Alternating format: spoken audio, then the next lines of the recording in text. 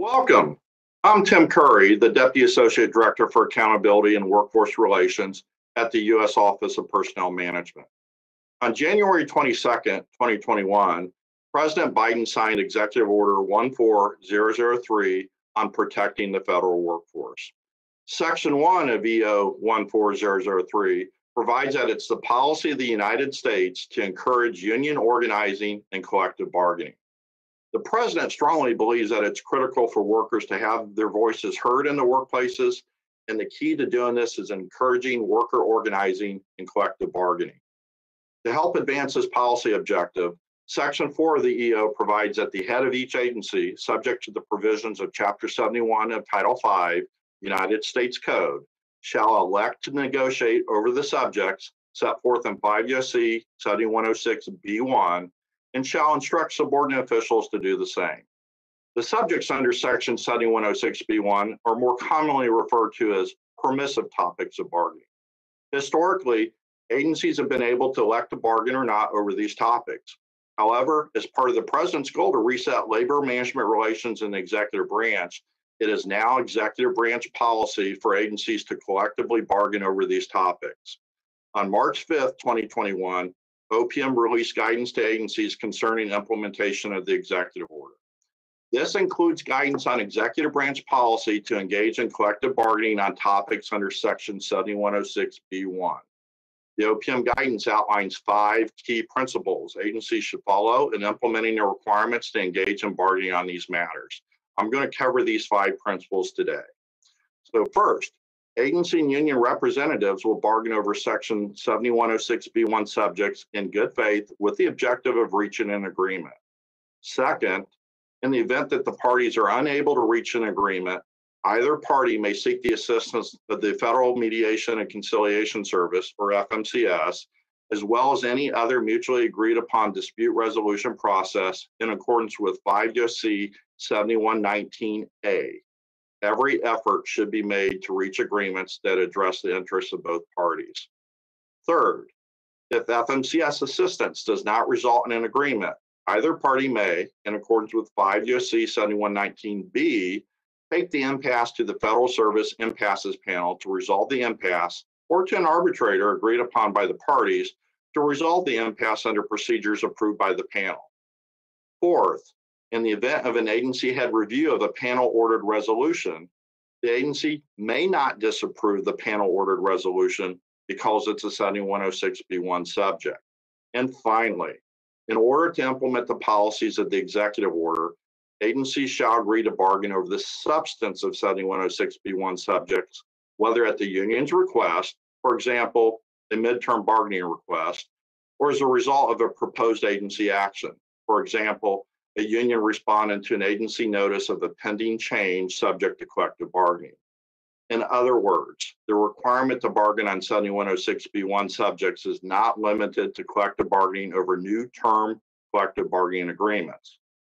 Since the law generally provides agencies the discretion to elect to bargain or not on permissive subjects, there isn't necessarily a lot of experience across government negotiating on these subjects.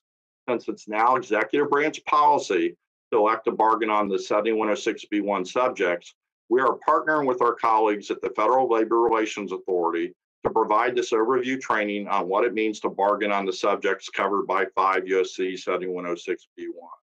Since collective bargaining on topics covered by 5 USC 7106B1 must be considered together with the topics covered by 5 USC 7106A, this overview training will provide some background on 7106A subjects as well. The FLRA will cover the statutory requirements and related FLRA decisions, and OPM will address any policy questions that may arise during this training. Therefore, I will now turn it over to Bill Kirstner to begin. Bill has worked in the Dallas and Boston regional offices of the FLRA and currently serves as a regional attorney in the Washington regional office. His overview of bargaining will help provide context to 7106B1. Bill, over to you. Tim, thank you for that introduction. The Federal Labor Relations Authority is pleased to be partnering with OPM to present this training and to provide statutory context for President Biden's Executive Order 14003. As background, the Federal Labor Relations Authority is an independent federal agency which administers the Labor Management Relations Program for 2.1 million non-postal federal employees worldwide, approximately 1.2 million of whom are represented in over 2,200 bargaining units. The FLRA is charged with providing leadership and establishing policies and guidance related to federal sector labor management relations and with resolving disputes under and ensuring compliance with the Federal Service Labor Management Relations Statute, which is found at 5 U.S. Code Chapter 71. A copy of the statute is available at flra.gov. A couple of housekeeping items.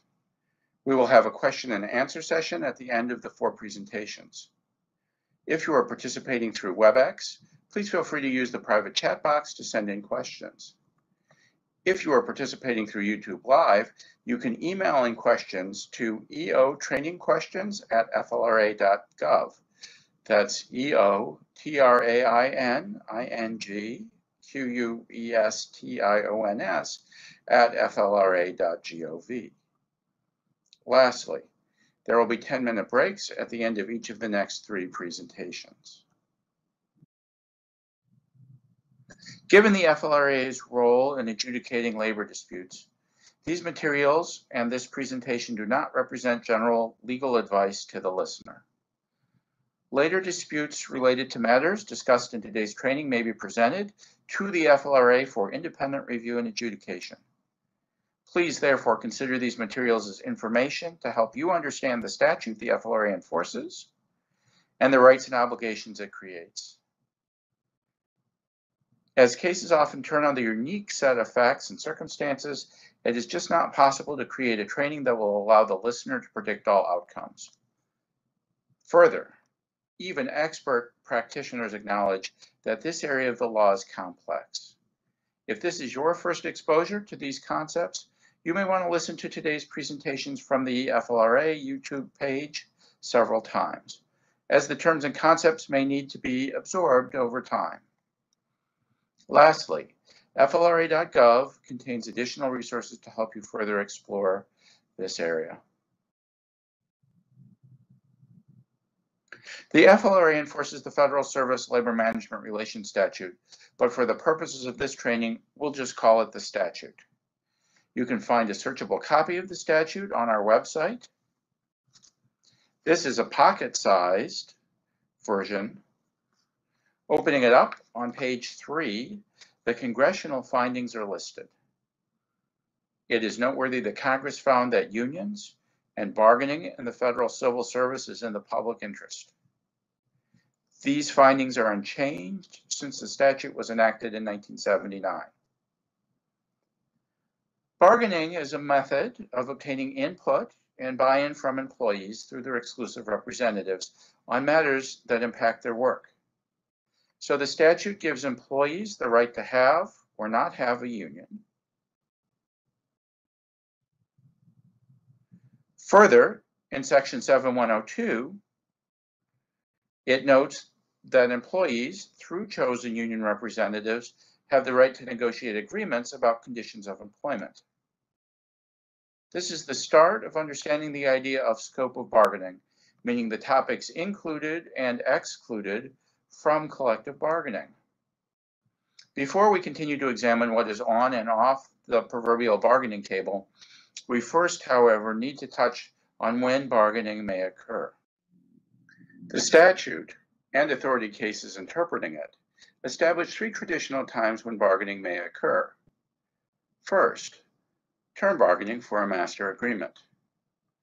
Second, midterm bargaining during the time when the agreement is in place over matters not addressed in or covered by existing agreements. The authority issued a 2020 policy statement which noted the statute neither requires nor prohibits midterm bargaining. Instead, the statute leaves midterm bargaining obligations to the parties to resolve as part of their term negotiations. And the third time, which is before changes are implemented with some exceptions. While not the focus of this training, parties need to remember that bargaining does not have to occur at all times over all possible subjects that could be negotiated. Thus, these concepts limit when parties may have the right or duty to bargain. It is critical that you keep the idea of when bargaining may occur in mind, as even if a union submits negotiable B1 proposals, if they are submitted at a time when the union doesn't have a right to bargain, the agency may lawfully decline to bargain. Further, even when it is a time when the duty to bargain exists, proposals can be outside of the duty of bargaining for a variety of reasons, including being unlawful, being contrary to government-wide regulation, being contrary to agency rules for which there is a compelling need, or being too focused on non-unit employees such as supervisors, employees in other units, unrepresented employees, or end users of your agency's services. Turning away from the issues of when bargaining may or must occur to the topics and subjects that may be included in bargaining, the statute includes several limits on the matters that may be negotiated. These must be understood before we discuss Section 7106 and Section 7106B1.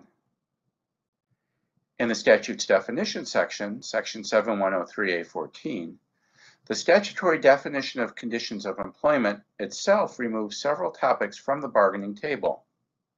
These include bargaining over political activities, such as using government time or resources to campaign. Also excluded is bargaining over the classification of any position. While it matters greatly if an employee's position is classified as a GS-12 or a GS-13, the union may not negotiate over that. Further, in Section 7103A14C, the union is not entitled to bargain over matters that are specifically provided for by federal statute. This last one, Section 7103A14C, includes many, many matters. For most federal employees, this includes pay, pensions, insurance, annual and sick leave, travel and move benefits. So very much of what represents many of the most important matters bargained in the private sector. In the federal sector, these are off the table because they are specifically provided for by federal statute. Further, Section 7103A14C has broader implications on the scope of bargaining beyond removing matters such as pay that are covered by other laws because 5 USC Chapter 71, what I'm referring to the statute, is a federal statute, it, in Section 7106, further addresses and clarifies the scope of bargaining and thus has the ability to impact the scope of bargaining. Thus, finally, we need to examine Section 7106. This is a picture of two pages of the Pocket Statute Book. The two pages that include all of Section 7106. Let's spend a moment looking at all of Section 7106, which in my experience underpins the biggest mistakes typically made by some in labor and management as relates to bargaining. So as we study Section 7106, I'll point out these common misreads. From the 10,000 foot level, looking down on Section 7106, you will see it has an A section and a B section. And the very first sentence in Section 7106A states that A is subject to subsection B. And that means all of A is subject to all of B. Since you all want to get to the discussion of B1, and B1 is part of subsection B, that means all of A is subject to B1, and B2 and B3. But again, let's go back to 7106A. As you can see, section 7106A is titled Management Rights.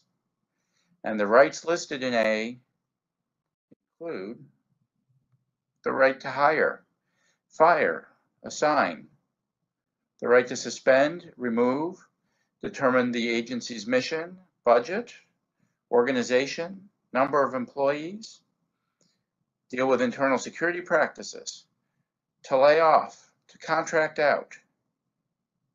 It is a very broad list that, in toto, represents management being management. And I think that is the source of one of the biggest mistakes management can make. When Section 7106A is misread to mean that the union has no role when management rights under 7106A are being exercised. That is incorrect because the exercise of A rights are subject to 7106B. If A didn't start off with a clause subject to subsection B, there would be much less bargaining in the federal government. However, A is subject to B, and that means we need to look at B each and every time management exercises its 7106A management rights. So let's now turn to section 7106B of the statute. Again, from 10,000 feet, section 7106B has three parts. B1 covers what are traditionally considered permissive subjects of bargaining. B2 addresses bargaining over procedures when management exercises 7106A management rights. And B3 covers bargaining over appropriate arrangements. Let's start by looking more closely at B1. That subsection starts off with the clause at the election of the agency.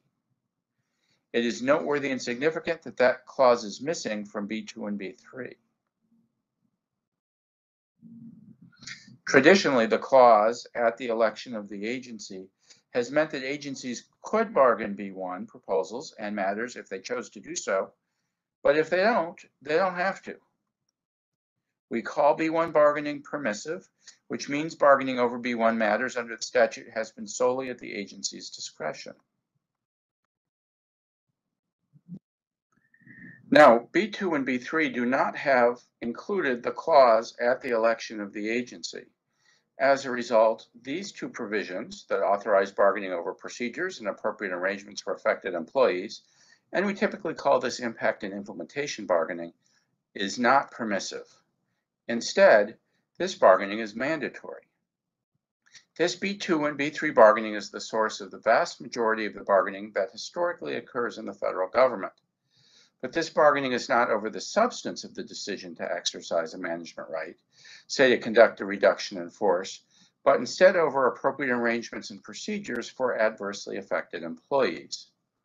Again, with a RIF example, the proposal should not be don't conduct the RIF, because the agency has a Section 7106A right to conduct a reduction in force.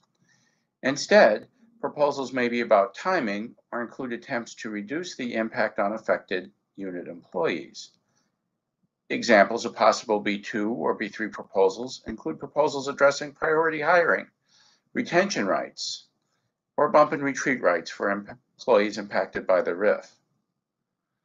These can be impact and implementation proposals, and when management exercises a Section 7106A management right, this B2 and B3 bargaining is mandatory.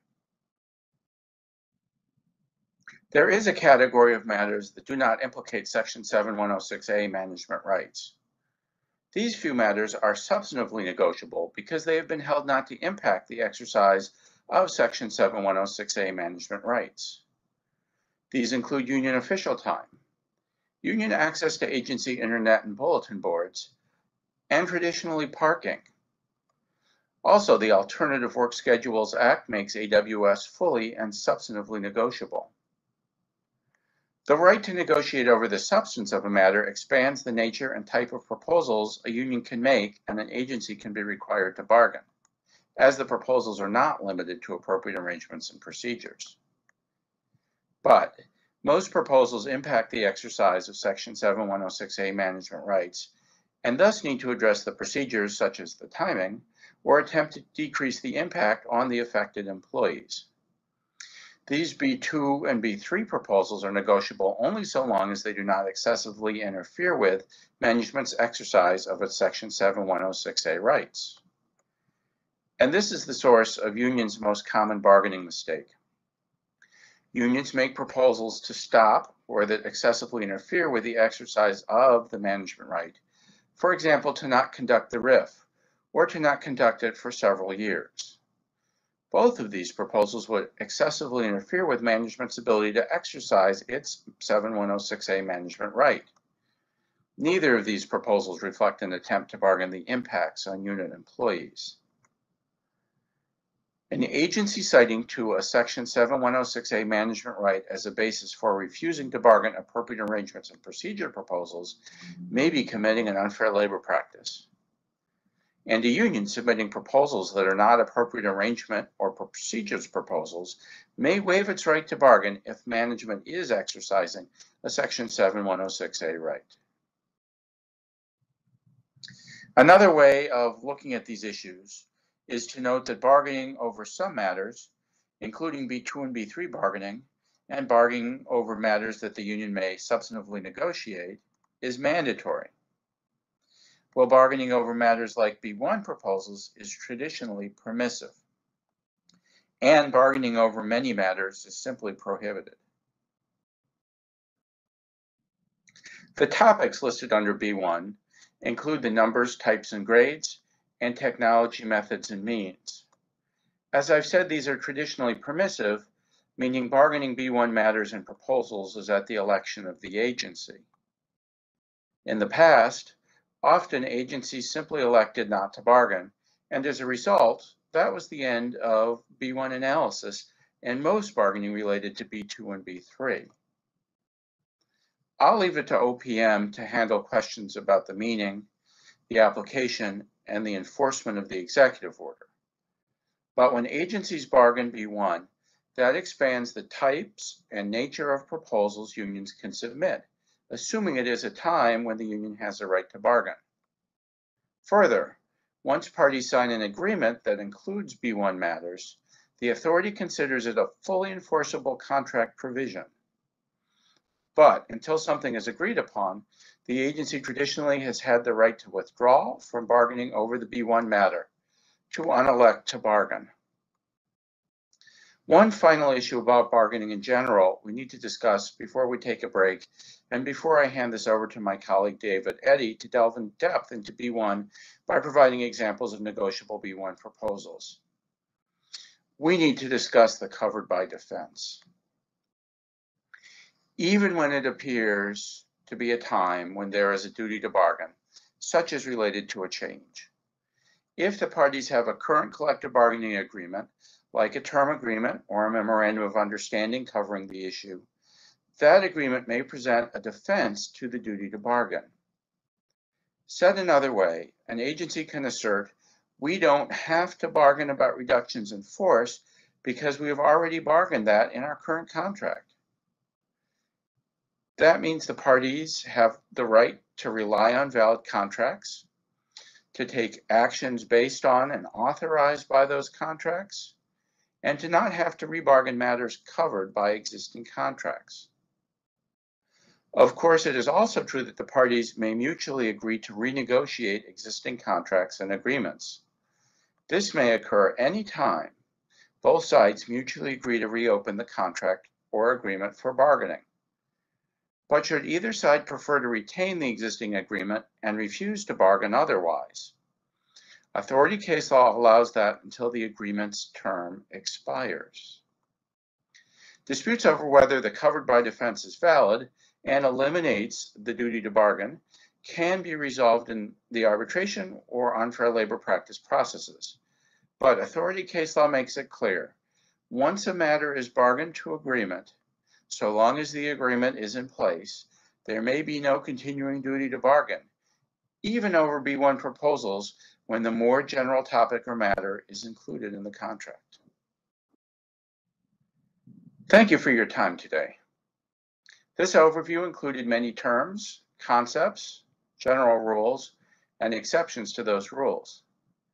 If these terms and ideas are new to you, as with any learning effort, it will take time to understand their nuance and application. I hope the program will help you in your efforts to understand the statute and the rights and duties it creates. I also hope it helps you in your internal strategy discussions, as well as in your conversations with your counterparts on the other side of the bargaining table. Let's take a 10-minute break. And when we return, my colleague, David Eddy, will examine Authority B1 precedent. David has worked for years as chief counsel to several members, and currently is serving as a special counsel to FLRA Chairman Ernie DuBester. So I will hand this over to David, who will start after the break.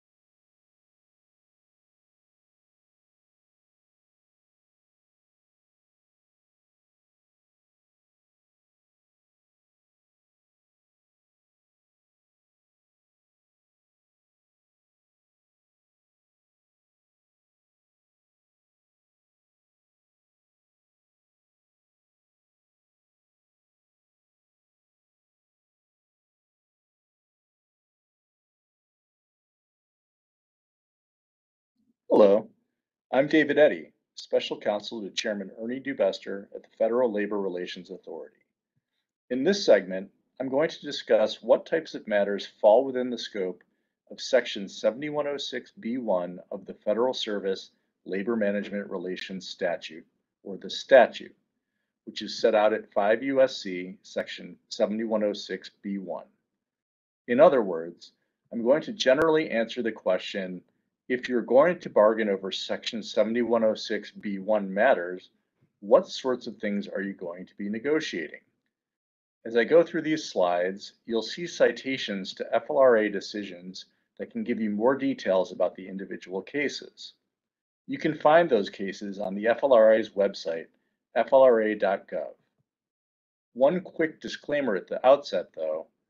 Although I'm going to discuss what the authority previously has held, I cannot and do not predict what the authority may hold in any particular case in the future. With that disclaimer, let's talk about what the authority previously has held regarding Section 7106B1 of the statute. Considered very broadly, Section 7106B1 of the statute encompasses two categories of matters. The numbers, types, and grades of employees or positions assigned to any organizational subdivision, work project, or tour of duty, and the technology, methods, and means of performing work. I say very broadly because both of these categories have numerous parts, which I will discuss in greater detail. The first category, numbers, types, and grades of employees or positions assigned to any organizational subdivision, work project, or tour of duty, can basic, basically be thought of as involving the establishment of agency staffing patterns or the allocation of staff for the purposes of an agency's organization and the accomplishment of its work. The first term in this category, numbers, is broad. So a bargaining proposal will concern the number of employees or positions if that proposal seeks to increase, decrease, or even maintain the existing number of employees that the agency has assigned or is proposing to assign. Turning to the next term in this category, the authority defines types of employees or positions as distinguishable classes, kinds, groups, or categories of employees or positions that are relevant to the establishment of staffing patterns. Again, a pretty broad term. Some examples of things that the authority has found to be types of employees or positions include temporary employees, employees with term appointments, and dental hygienists. The third term in the category of numbers, types, and grades is, you guessed it, grades. For example, what are the general schedule levels of the positions that will be staffing a particular organizational subdivision, work project, or tour of duty? One important caveat here, though. Proposals that would establish the classification of a position do not fall within this category. More on that distinction later. So, we've talked generally about the terms numbers, types, and grades of employees or positions, but to fall within the scope of 7106B1, a bargaining proposal must involve the numbers, types, and grades of employees or positions assigned to particular things, specifically organizational subdivisions, work projects, or tours of duty. But what do those terms mean? Essentially, I like to think of an agency's organizational subdivision as how the agency organizes itself either structurally, its components like an org chart, or geographically. Some examples of bargaining proposals or contract provisions that have been found to address organizational subdivisions have included those that involved centralization or decentralization of staffing within an agency, such as a proposal that management continue to maintain specific positions at specific locations rather than moving them to a central location, and proposals or provisions that would establish how an agency's organizational subdivisions would be staffed. 7106B1 also covers the numbers, types, and grades of employees or positions assigned to a work project. The authority has said that a work project is a particular job or task. Some examples of work projects are supervising inmates and dental assistance duties. Additionally, 7106B1 covers the numbers, types, and grades of employees or positions assigned to a tour of duty. Now, the authority has defined tour of duty in a way that should be pretty familiar to anyone working in the federal government. It's the hours of a day or daily tour and the days of an administrative work week or weekly tour that constitute an employee's regularly scheduled administrative work. One thing to note here, though, is that tour of duty is different from office hours. For example, a proposal that would establish when, say, a Social Security claims office is open to the public does not involve the numbers, types, and grades of employees or positions assigned to a particular tour of duty. Now, just to wrap up the first broad category of matters covered by 7106B1, here are some additional examples of proposals or provisions that have been found to involve the numbers, types, or grades of employees or positions assigned to an organizational subdivision, work project, or tour of duty. A proposal requiring an agency to fill an existing vacant position at an organizational subdivision concerned the number of employees assigned to that subdivision because it would effectively require the agency to increase the number there. And a contract provision requiring an agency to schedule employees to an eight hour workday with a half hour non-paid duty-free lunch period concerned the number of employees assigned to a tour of duty.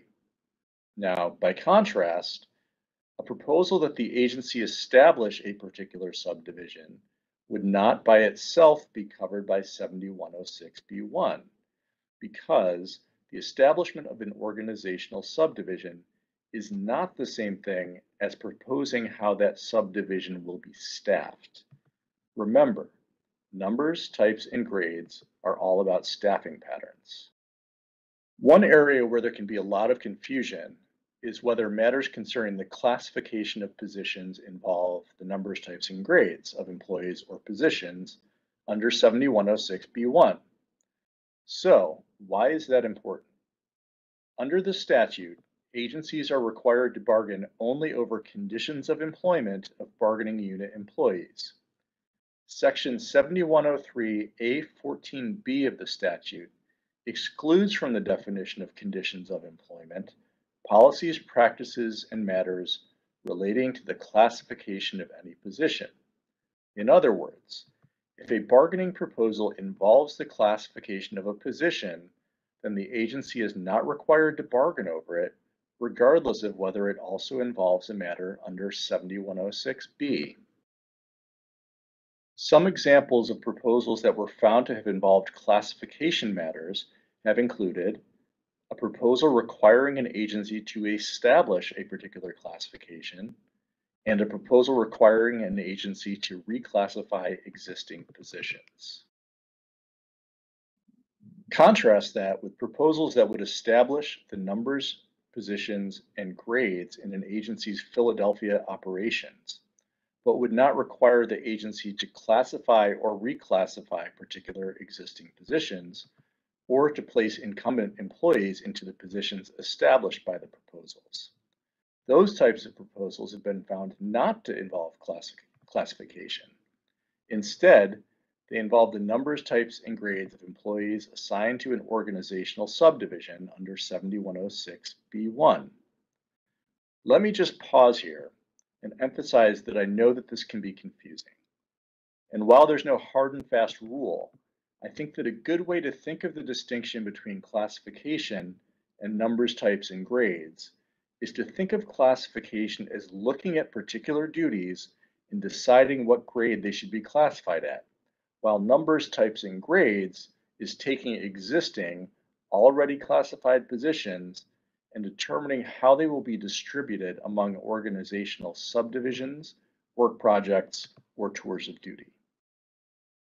Now, Moving away from numbers, types, and grades, Let's turn to the second broad category of matters that are covered under 7106B1, specifically the technology, methods, and means of performing work.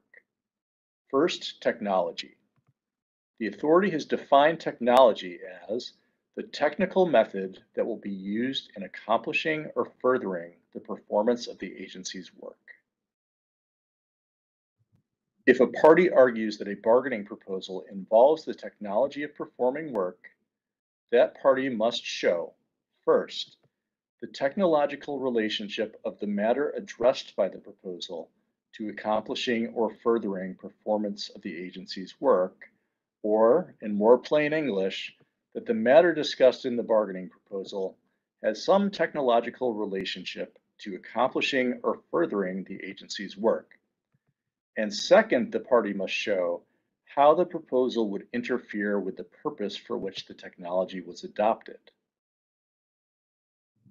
To illustrate, some examples of proposals or provisions that have been found to involve the technology of performing work have included proposals or provisions that would require an agency to provide employees with a computer terminal to perform their work, or would require that employees have certain types of telephone lines in their offices. Now, one thing to note is that both of those types of proposals or provisions have also been found to involve the means of performing work, which I'll discuss momentarily. Keep in mind that a single proposal or contract provision can involve more than one category or subcategory under Section 7106B1. Turning to the second category covered by technology, methods, and means, the authority has defined method as the way in which an agency performs its work, or in short, how will the agency accomplish its work? As for the third category, or means of performing work, the authority has defined means as any instrumentality, including an agent, tool, device, measure, plan, or policy that the agency uses to accomplish or further the performance of its work. Quite the list. But in short, means concerns with what will the agency accomplish its work. So regarding the second and third categories, to show that a bargaining proposal concerns either the methods or the means of performing work, a party must show first that there is a direct and integral relationship between the agency's chosen methods or means and the accomplishment of the agency's mission, and that the bargaining proposal would directly interfere with the mission-related purpose for which the method or means was adopted. Now, a couple of points about methods and means. First, the relative importance of the agency's chosen method or means is irrelevant. A bargaining proposal can concern the agency's methods or means even if the agency's chosen methods or means seem relatively insignificant in terms of accomplishing the agency's mission. And second, whether a proposal concerns methods or means often turns on what the agency's particular mission is. So, a proposal that may involve methods or means at the IRS, for example, may not involve methods or means at the Department of Defense, different missions. To illustrate, one type of bargaining proposal that has been found to concern the methods and means of performing work are proposals that would allow Air Reserve technicians to wear civilian clothing rather than military uniforms. In other words, for those employees, the agency's decision to require military uniforms involved the agency's methods and means of performing work. But note, not all matters involving clothing necessarily concern the methods and means of performing work. For example, a proposal that allowed certain uniformed customs officers to wear cargo shorts in certain environments did not concern methods and means, where the agency allowed shorts in some environments but not in others, and the agency failed to explain why allowing shorts in some environments but not others related to how the agency's work was done. Another example of a proposal involving the methods and means of performing work was a proposal that required an agency to erect partitions at least five feet high between cubicles, where that agency was a news broadcast organization and the agency established that lower partitions facilitated communications in a fast-paced news environment. Further, in some cases, workspace design can constitute the methods and means of performing work. For example, where the Social Security Administration established a link between a particular Social Security office's floor plan and the efficient performance of the agency's services to the public, the authority found that a proposal for a different floor plan concerned the methods and means of performing work. But in other cases, bargaining proposals involving workspace design have not been found to involve the methods or means of performing work. For example, where an agency failed to demonstrate a direct and integral relationship between seating employees according to their work groups and accomplishing the agency's mission, a bargaining proposal that would allow employees to select offices without regard to work group assignment did not concern the methods or means of performing work.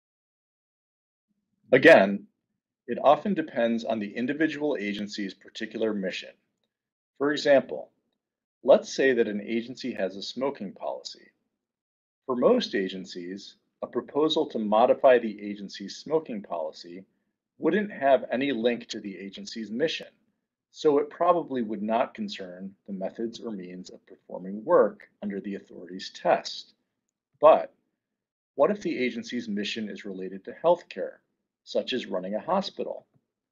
Then the agency's smoking policy could involve that agency's methods and means of performing work, as the authority found for the Indian Health Service. Because this area of the law can be pretty confusing, let's look at a few additional examples of things that have been found not to involve the methods and means of performing work. Proposals reg regarding how an agency evaluates work that has already been performed, such as the number of tiers in a performance appraisal system, do not concern the methods and means of performing work.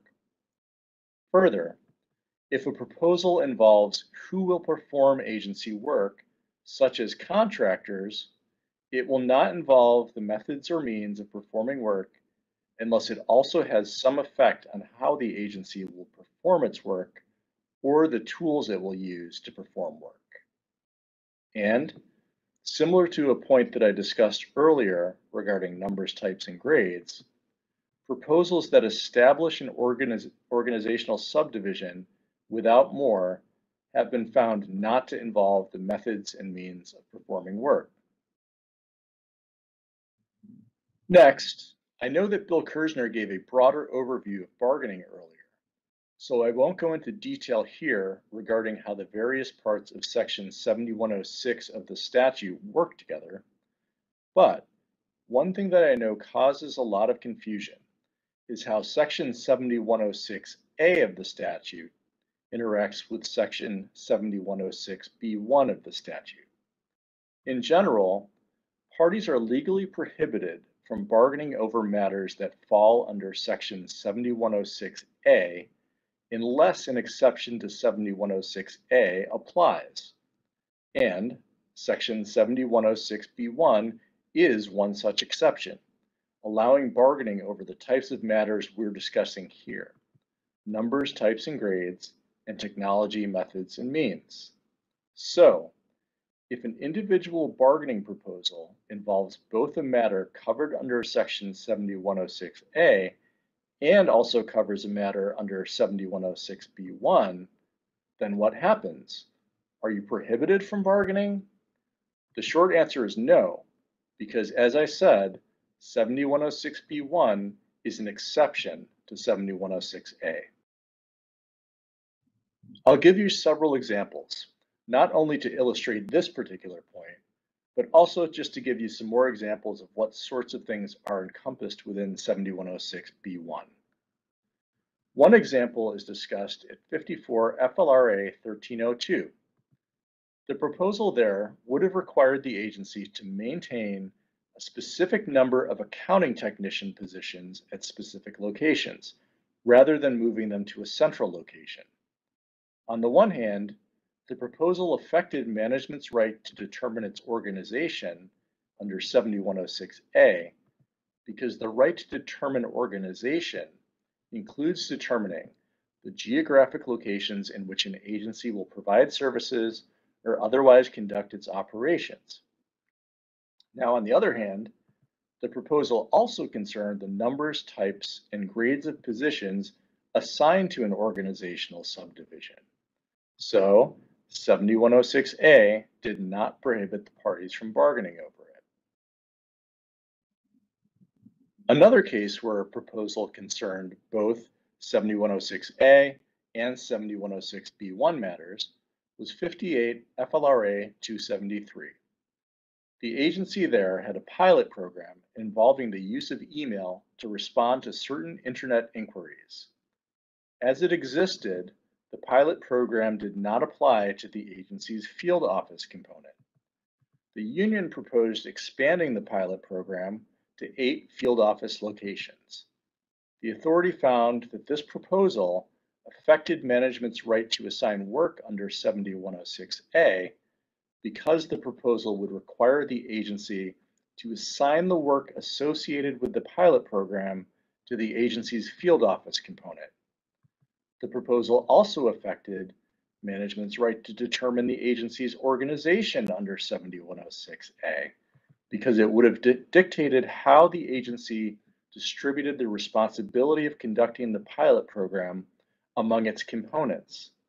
At the same time, however, the proposal also concerned the technology of performing work under 7106B1. So again, 7106A did not prohibit bargaining. Further, proposals that would have required an agency to schedule employees to a tour of duty without an unpaid lunch period affected management's right to assign work because they would have restricted the agency's ability to change employees' hours of work. But because they also established a tour of duty, they fell within 7106B1 and the parties were not prohibited from bargaining.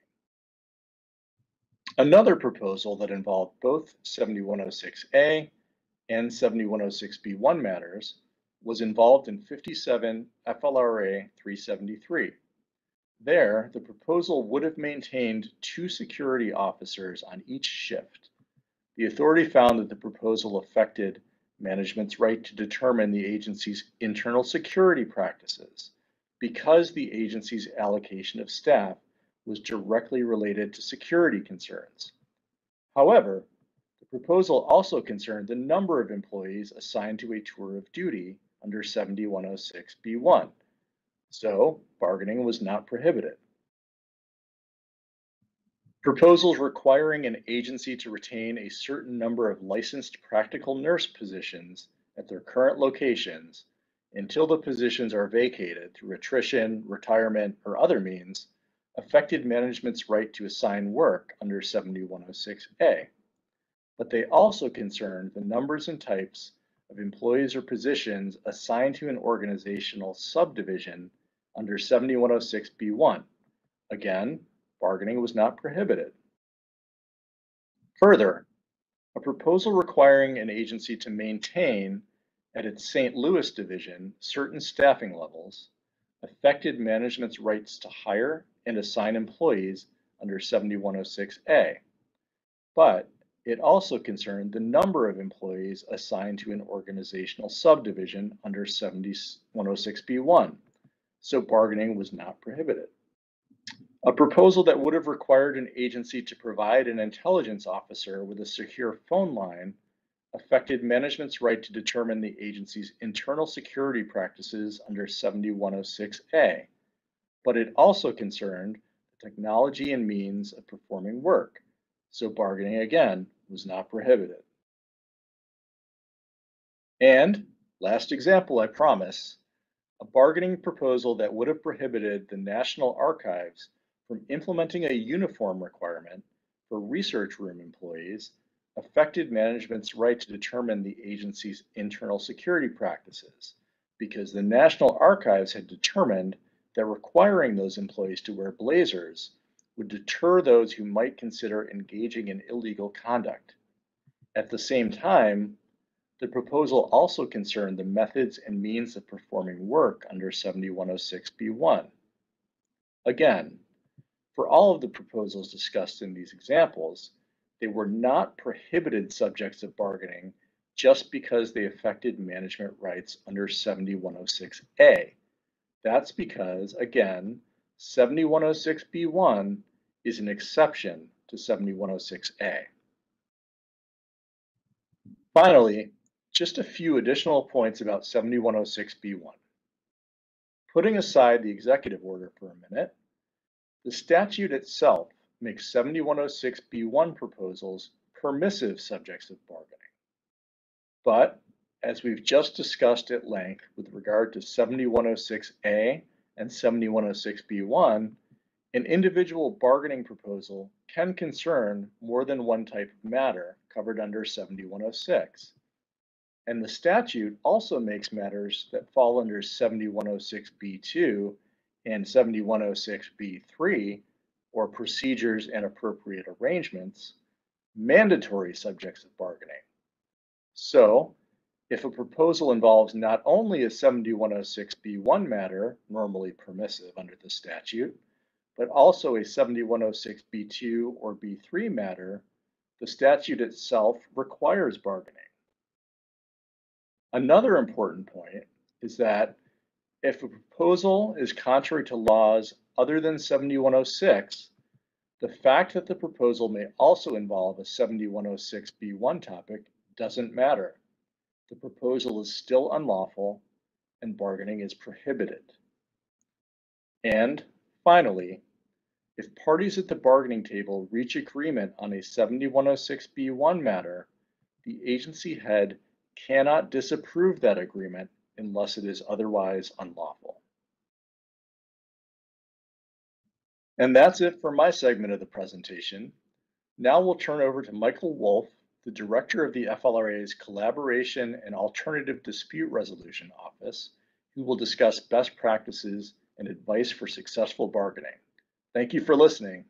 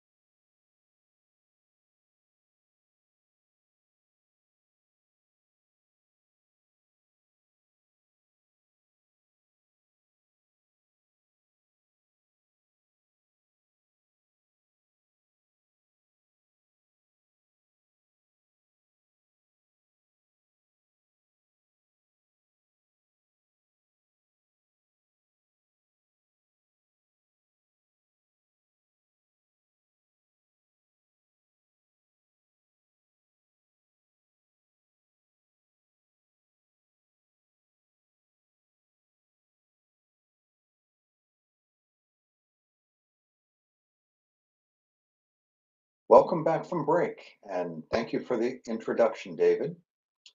My name is Michael Wolf. As David said, my primary role at the FLRA is serving as the director of the Collaboration and ADR Office, which we call CADRO. CADRO helps agencies and unions achieve negotiated solutions to complex and sensitive cases pending before the authority and the FLRA administrative law judges, including negotiability petitions and unfair labor practice complaints. We also help agencies and unions prevent destructive conflict, manage constructive conflict, and improve the health of labor management relationships. I hope you've absorbed a great deal of material delivered by the FLRA Chairman Special Counsel David Eddy, FLRA Regional Attorney Bill Kirstner, and OPM's Deputy Associate uh, uh, Director for Accountability and Workforce Relations, Tim Curry. If a written transcript of this training program is not yet available, it will be shortly. For those of you attending the live stream broadcast of this training on October 28, 2021, please join the four of us immediately after this segment. Give you a short break there too. Uh, when we're going to be doing a live Q&A session. Before the Q&A session begins, um, I encourage you to use the chat function in WebEx to post questions for all four presenters. If you're viewing this uh, from our YouTube channel and your uh, questions are ones that you would like to send us by email, uh, use the email address EO Training Questions, EO Training Questions at flra.gov. A recording of this entire training, including the Q&A session and an FAQ, will be added to our YouTube channel shortly. I started preparing for today by reviewing almost 40 years of presentation files that I developed or adapted throughout my labor management career. When someone is taught aspects of collective bargaining for that long, you would think that they could just repurpose some existing presentation for a program like today. Maybe I could have done that, but then I thought, what if you were sitting here next to me and you asked me, how can I most successfully bargain B1 matters today? Now, especially in light of Executive Order 14003, I decided that this topic really deserves a fresh look. So how can you be most successful bargaining B1 matters today? The question here is not just how to bargain B1 matters, but how to be most successful.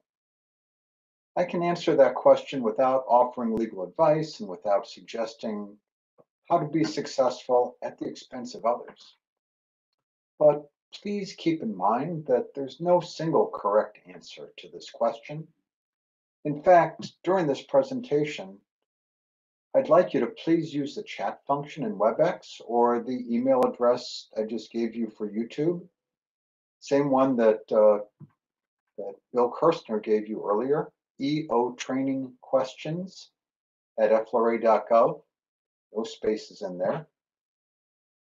I'd like to encourage you to share your ideas about what should be on the list of the most important things negotiators can do to be successful when bargaining B1 matters today. Let's see if your ideas and my ideas overlap. I have an easier time interpreting and understanding someone if I have some context for what they say. I'd like to offer you a little context for what you hear from me. Before joining the FLRA staff in 2010, I spent about five years on the ADR staff of the National Mediation Board.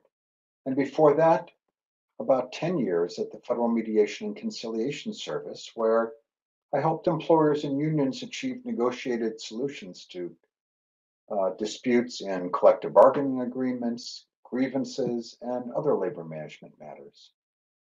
For more than a decade before that, I was a party advocate, an attorney in federal sector workplace matters. Um, and in that role, I negotiated collective bargaining agreements and litigated if I was unable to negotiate resolution for labor management disputes.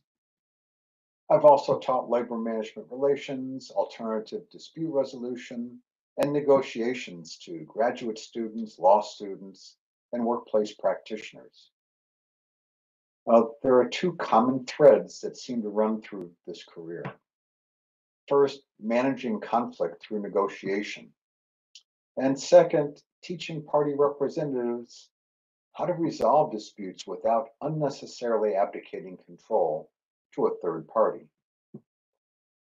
During the next 45 minutes or so, I'm going to try to apply what I've learned uh, to the subject of B1 bargaining. I like to consider ideas in groups of three. As you might imagine, there are more than three things that we must do to be most successful bargaining B1 matters. So in the spirit of threes, I'm going to offer three groups of three containing the most important things that you can do to be most successful bargaining B1 matters. Now look at the nine items on this screen. Uh, from where I'm sitting, maybe, oh, no, probably over there. Is each one of these necessary to be most successful bargaining B1 matters? I think the answer is yes. Are there any of these that are unrealistic or overly difficult for most people? I think the answer is no. You can do this. Nevertheless, some of you might still wonder, do we really need to do all this? And my answer really is a question for you. How important is it for you to be successful bargaining B1 matters? The more that success matters to you, the more important it will be for you to engage in a way that gives you the best chance of success. If you plan to bargain over things that don't matter very much, then mediocre might be good enough. But parties rarely bargain over things that don't matter. The outcome of bargaining over B1 subjects is most likely important to you, to your staff, to your bargaining unit members, to your agencies, and to the American public. So only the best outcomes should be good enough.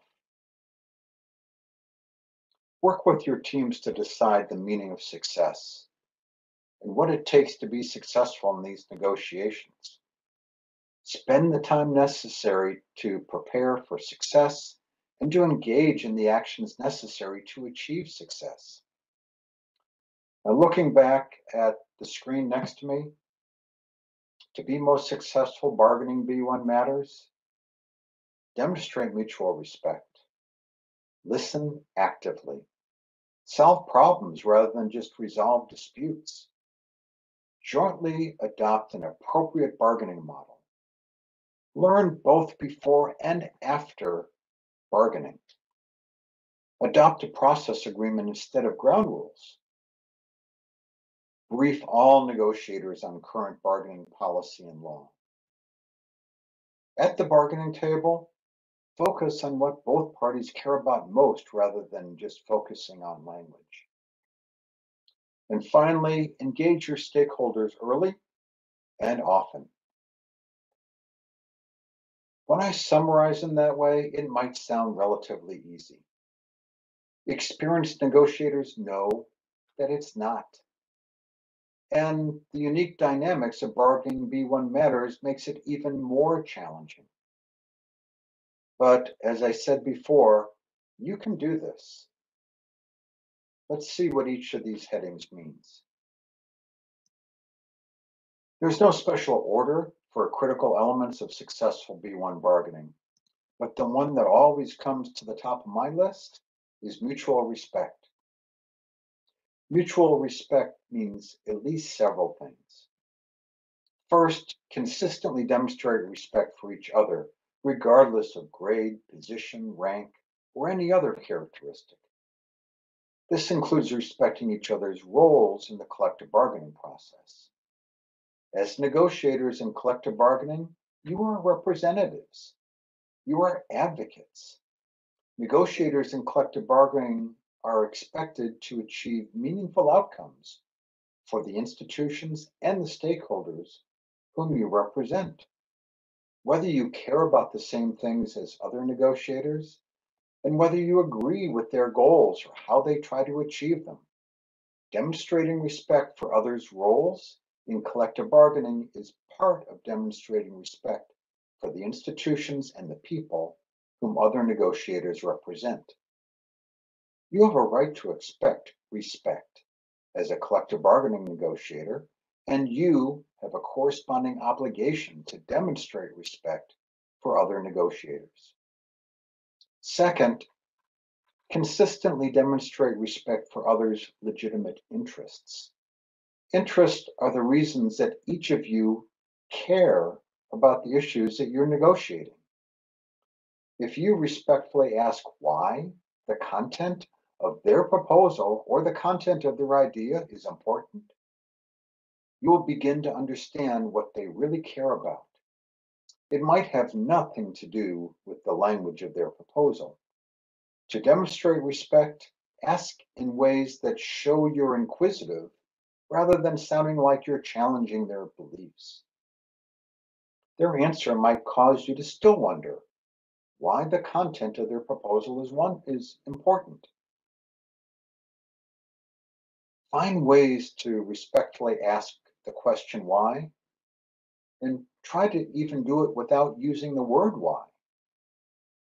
And do it until you really understand what is important about the content and the purpose of their proposal. Now, we don't determine whether they care about something that's legitimate or whether they care about something important. That's their prerogative to determine what's legitimate and what's important. We can determine how to demonstrate respect for those interests that they have and to thereby acknowledge their interests. We have no obligation to agree, much less adopt their interests, but we create unnecessary obstacles by failing to respect their interests.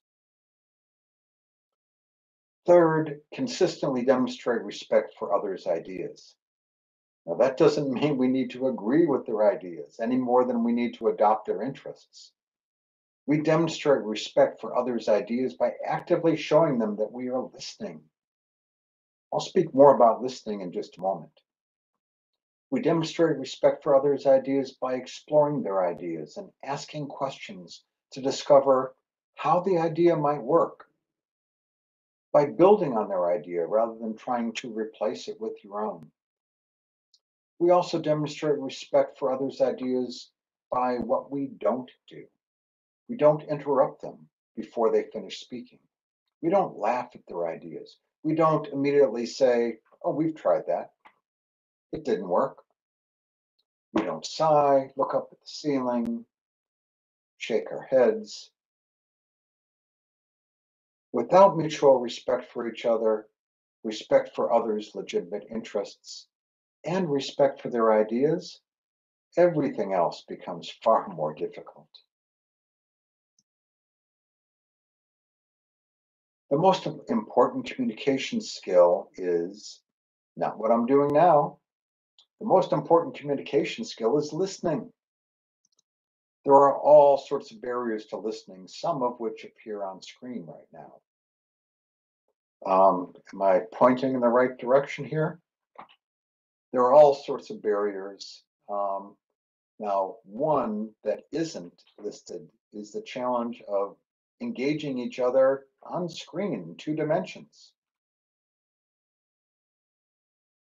What body part do you use when you listen? How many of you thought, my ears? Well, ears are what we use to hear, but our brain is what we use to listen. A big part of why I never seem to run out of work managing workplace conflict is that even when people hear each other, many don't seem to listen. And even when negotiators listen, they seem to think listening is a passive event. They're not actively listening. How do you react after you say something really important? But whomever you're speaking with, That person doesn't seem to do anything to show that they're listening. This can be a serious barrier to communication and it can make it more difficult to reach agreement on anything. Active listening is an interactive process. That's why we call it active listening. When we actively listen, we use our brains, plus we use our hands, our eyes, our facial expressions, our body language. We ask appropriate open-ended versus close ended questions. We use techniques like reflective listening and paraphrasing, restatement and summarizing to accomplish specific tasks without sounding like we're using techniques. When my son was little, he sometimes would say, Dad, you're doing it to me again. I hope I've gotten better since then. And that brings up an important point. None of us was born with the ability to actively listen. Like any other skill, active listening requires training and practice. When was the last time you received training in active listening skills and consciously practiced those skills? If it's been a while, that could be a barrier to successful B1 bargaining. By the way, please do not discount the importance of other communication skills just because I am focusing on active listening at the moment. I often remind myself that if everything's a priority, then nothing's a priority. So I limited myself to three groups of three priorities today, and active listening pops to the top. To get the attention of the Federal Labor Relations Authority, most labor management disputes must be framed as a legal question that can be resolved by a decision from an administrative law judge, the authority, or the Federal Service Impasses Panel. Typically, when a case is decided, one party loses. Sometimes, but not always, the other party wins. Until the case is over, the parties might not realize what they won or lost. Um, and they may not realize that it could be just the answer to a legal question, which is not always the same as solving the problem that gave rise to the legal question. When you bargain a B1 matter, ask yourself what it means to be successful at the bargaining table um, and at the end of that bargaining process. Does success simply mean that you can check the box saying, we completed bargaining? Or does it mean that you took the first step towards possibly seeking a third party decision in a legal dispute? Or does success mean that you work towards resolving the underlying concerns that prompted bargaining over the B1 matter?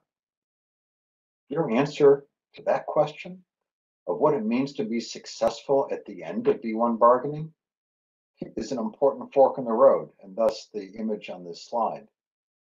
I suggest that you make that choice consciously and jointly with the other party at the bargaining table. Yes, make it together. If you want to solve problems that gave rise to B1 bargaining, and if they want to engage in dispute resolution over legal questions, your potential labor management conflict will be about more than just the substance of the B1 matter. Give serious consideration to adopting a problem solving approach, especially when bargaining B1 matters. This can be something that um, minimizes risk. And for example, the risk that questions of policy or law might become an insurmountable barrier to bargaining. You'll be better able to focus on questions like what's your real concern? And what problem are we really trying to resolve? Rather than be stuck on the question of is this proposal language mandatory or permissive? or something along that line.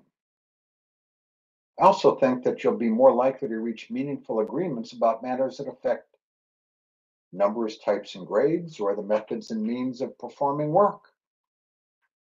You'll be able to do that if you focus on problem solving rather than dispute resolution. So I've talked about demonstrating mutual respect, listening actively, and solving problems rather than just resolving disputes. That completes the first group of three. Now, let's take a look at the second trio. I'm going to use the terms bargain and negotiate interchangeably. The most effective negotiators interact with each other for the purpose of achieving a valuable outcome about something that matters. Let me say that one more time. The most effective negotiators interact with each other for the purpose of achieving a valuable outcome about things that matter. Notice that I didn't say that the most effective negotiators settle things or reach agreements. A negotiated agreement is not always better than not reaching an agreement.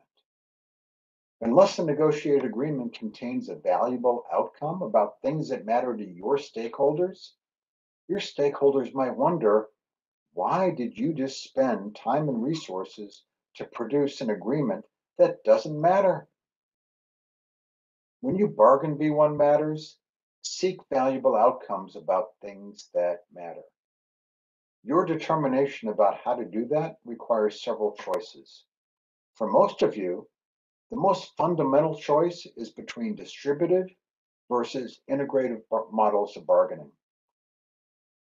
In many, if not most cases, the long-term impact of choosing a labor management relationship based on a distributive or integrative bargaining model is more important than almost any single topic that you bargain.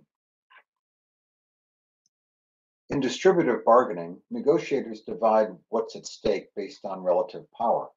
It's a zero sum game with a relatively fixed pie, and it involves a natural tension between elements of cooperation and competition a purely distributive bargaining model can be most effective in transactional matters where there's no ongoing relationship between the disputants.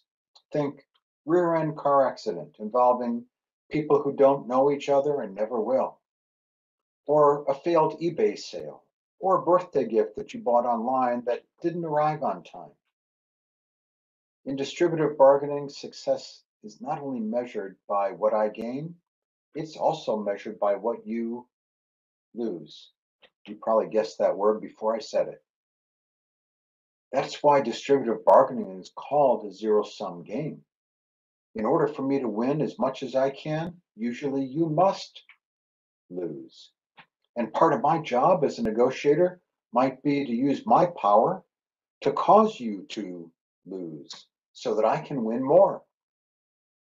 To be successful in distributive bargaining, I need to demonstrate forgiveness if you start to cooperate with me. But I'm going to retaliate if you become competitive at my expense. Success in distributive bargaining requires that both parties be clear, consistent, predictable, and flexible, yet firm. What a tightrope to walk. And usually there's no safety net. Using a purely distributive bargaining model creates risk. And it's a risk of a lose-lose outcome as both parties seek the winning side of that win-lose outcome. Think about what happens if an inexperienced negotiator moves too little in the beginning, or the impact of what happens if they move too much in the beginning. What message does that send? And what is the other party going to expect? Or what if the negotiator engages in some unexpected display of power or proposes to split the difference at the wrong time? Inexperienced negotiators seem to love to split the difference, oftentimes at the wrong time, even if there's no realistic chance of that resulting in some agreement. It simply creates confusion and a disastrous outcome. Distributive negotiators see tactics on TV and in movies and read about them in books. And some Rambo negotiator might have written some how to manual that they, you know, got at some CLE class. And so the negotiator thinks that they can succeed by doing things like making extreme opening offers or intimidating others at the table. or issuing threats and ultimatums, kicking and yelling and stomping. And I've even seen a negotiator literally jump on the table and scream at the other party from the middle of the table. Um, you know, some Rambo negotiators use stalling tactics, they withhold concessions, they withhold information, they provide misinformation. Now, these kind of tactics, they make for good television, good ratings, maybe, um, good sales of, of books, but they really don't have much legitimate place in collective bargaining regarding or regardless of whatever model you adopt uh, of bargaining. I started mediating labor disputes full time almost 30 years ago. Before then, I spent almost two decades mediating commercial, family, and divorce matters. Um, I found that many divorcing couples thought that they were negotiating the end of a relationship, so they used distributive bargaining methods and all sorts of Rambo tactics that resulted in painful win lose and oftentimes lose lose outcomes. Often the winner was defined by who didn't lose as much as the other one. Usually they both lost a tremendous amount. The real loser, though, frequently turned out to be the children, especially after the parents realized that because of the children, they really weren't negotiating the end of their relationship, they were negotiating simply a change in their relationship. They had to live with potentially lifelong consequences of adopting the wrong bargaining model that created more losers than winners.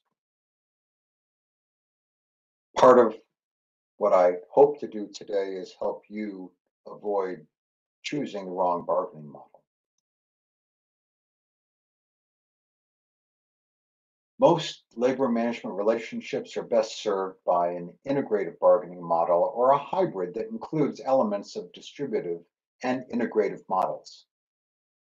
That's especially the case for B1 bargaining. In integrative bargaining, negotiators usually begin by agreeing on a problem they want to solve, as opposed to distributive negotiators who agree on a position they try to achieve at the other's expense. Integrative negotiators identify what their stakeholders care about most. We often call those interests. Now, unlike distributive negotiators, integrative negotiators achieve success by using option generation tools like brainstorming, and they use uh, decision-making tools like consensus. Negotiators then constructively use power plus problem-solving techniques to maximize what everyone at the table can leg- legitimately gain while minimizing everyone's important losses. Integrative negotiators measure success by the extent to which they satisfy as many legitimate interests as possible and the extent to which they minimize everyone's lost opportunity.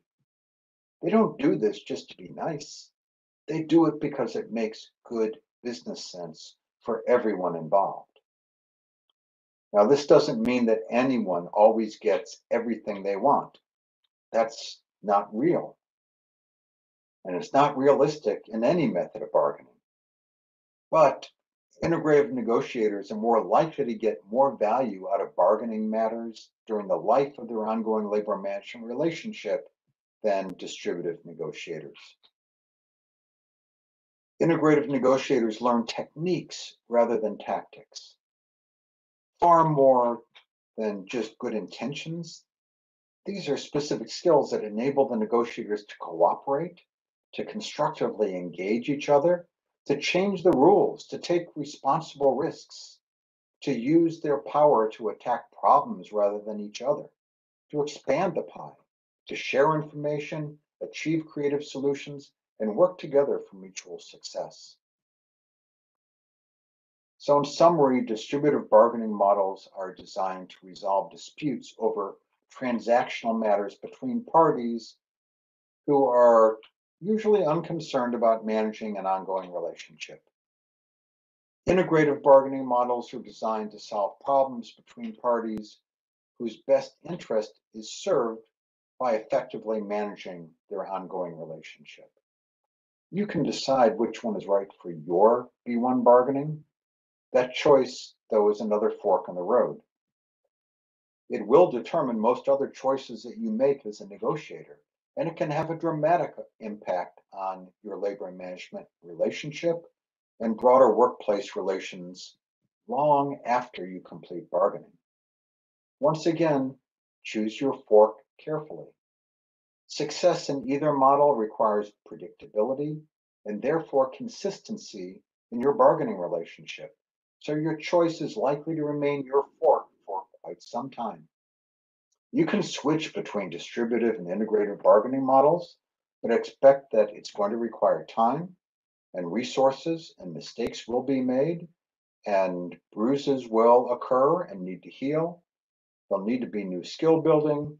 There'll need to be a joint understanding by labor and management as to what you're doing and what you're trying to achieve, and probably some external trainer and a guide to help you make a successful transition. Earlier, I commented that none of us was born knowing how to actively listen. The only people who excel at active listening are those who train and practice. The same goes for bargaining. Regardless of the models that you adopt, um, training and practice are key. In fact, the best negotiators bring world-class bargaining skills to the negotiation arena whether they're called upon one day to use distributive or another day to use integrative methods or a combination of both. Many of us choose paths in life where we acquire knowledge and skills that help us as negotiators. But unless you were born in Lake Wobegon, Minnesota, that's unlikely to be enough to be consistently uh, successful and to consistently achieve the best outcomes especially when your bargain B1 matters.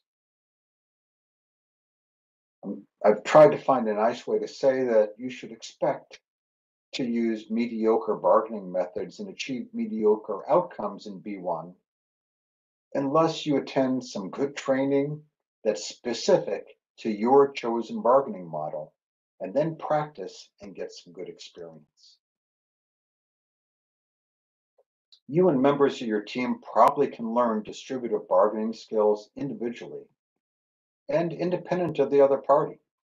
But best practice for integrative bargaining is that teams that intend to bargain with each other should train together. Yes, labor and management bargaining teams should jointly participate in this training.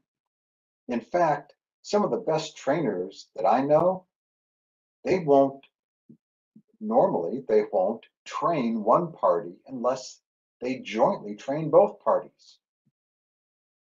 The best and most time efficient integrative bargaining training is designed and delivered specifically for your bargaining teams and bargaining situation.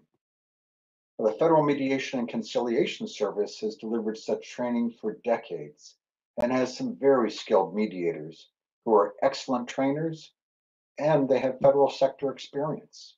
Some of them do. I don't believe that they charge for the training, but you'll need to check with them.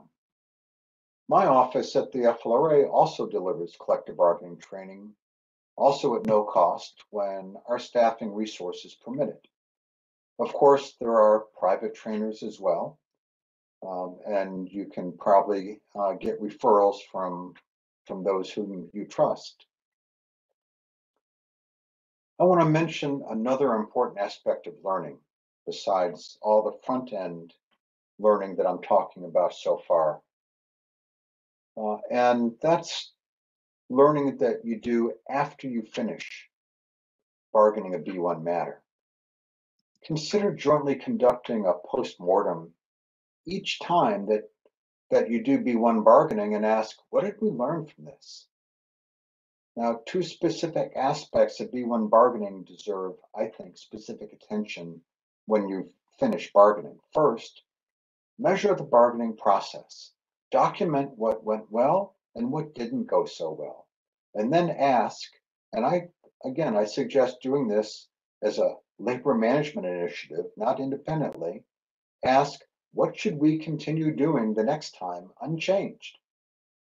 Second question, what should we modify? Third question, what should we start doing that we didn't do this time? And fourth question, what should we stop doing the next time? The next thing that I suggest that you learn from after you complete B1 bargaining is by measuring outcome. How did the B1 bargaining impact mission achievement? What about quality of work life? How did it affect your labor management relationship and overall workplace climate? It probably will take longer to learn from this second set of questions, but it's vitally important. Collectively, what we all learn from gathering such data might even influence future public policy determinations.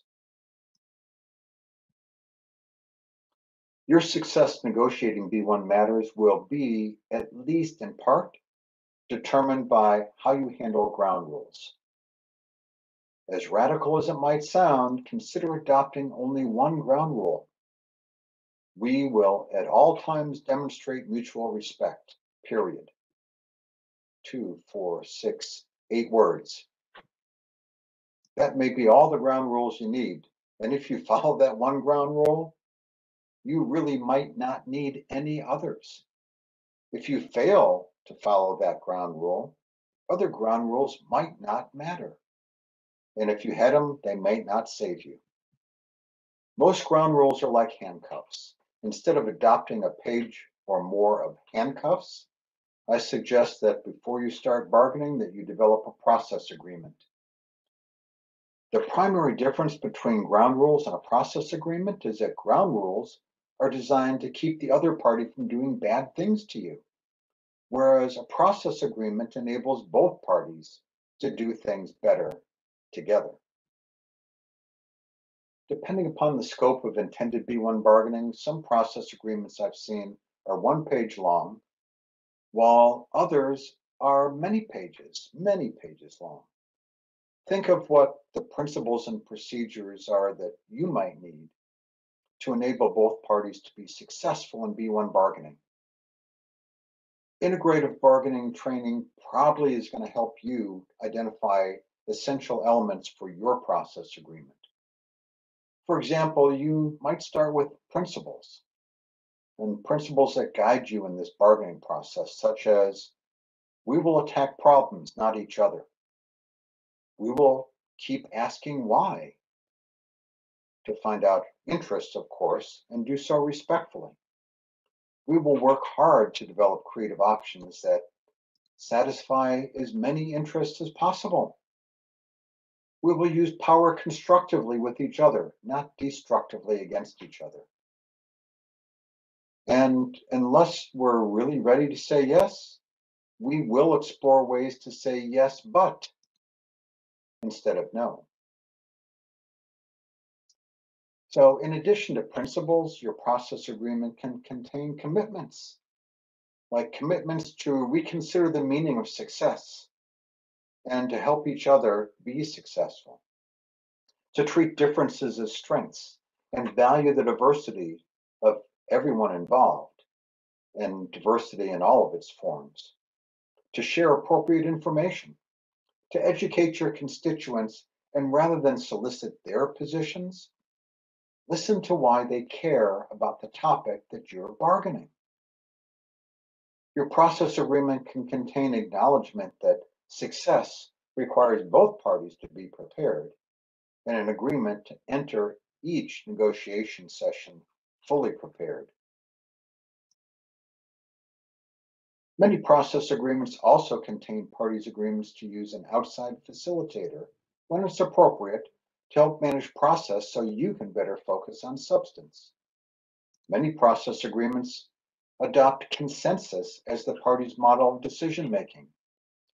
That's a huge deal and sometimes makes a difference between whether you jointly win or jointly lose in this bargaining process. So this includes parties' willingness to consider and adopt solutions that they can support even when they prefer something else. And that's part of why parties adopt consensus as a, a bargaining decision-making model and integrative bargaining processes.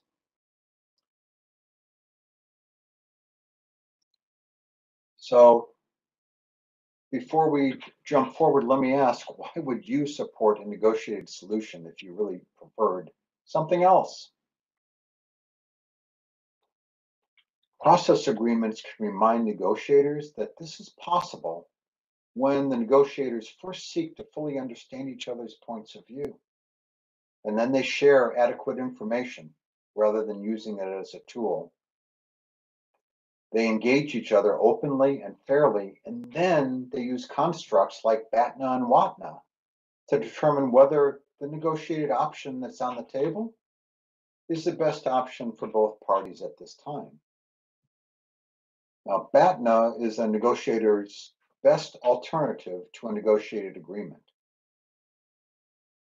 What's likely to be the best outcome but a BATNA is what's likely to be the best outcome if the negotiator says no deal and walks away. And WATNA is a negotiator's worst alternative to the negotiated agreement. What could be the worst outcome if the negotiator says no deal and walks away?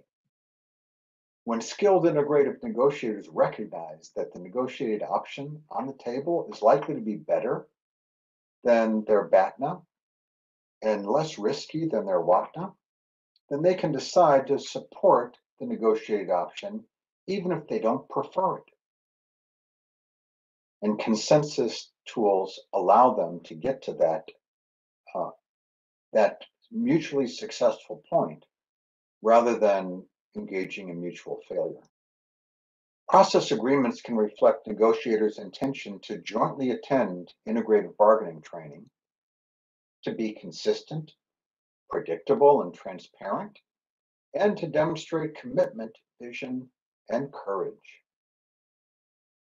Do you think it's a bit corny for me to put into a written agreement that the negotiators will demonstrate commitment, courage, and vision? Or even to include that in this training segment?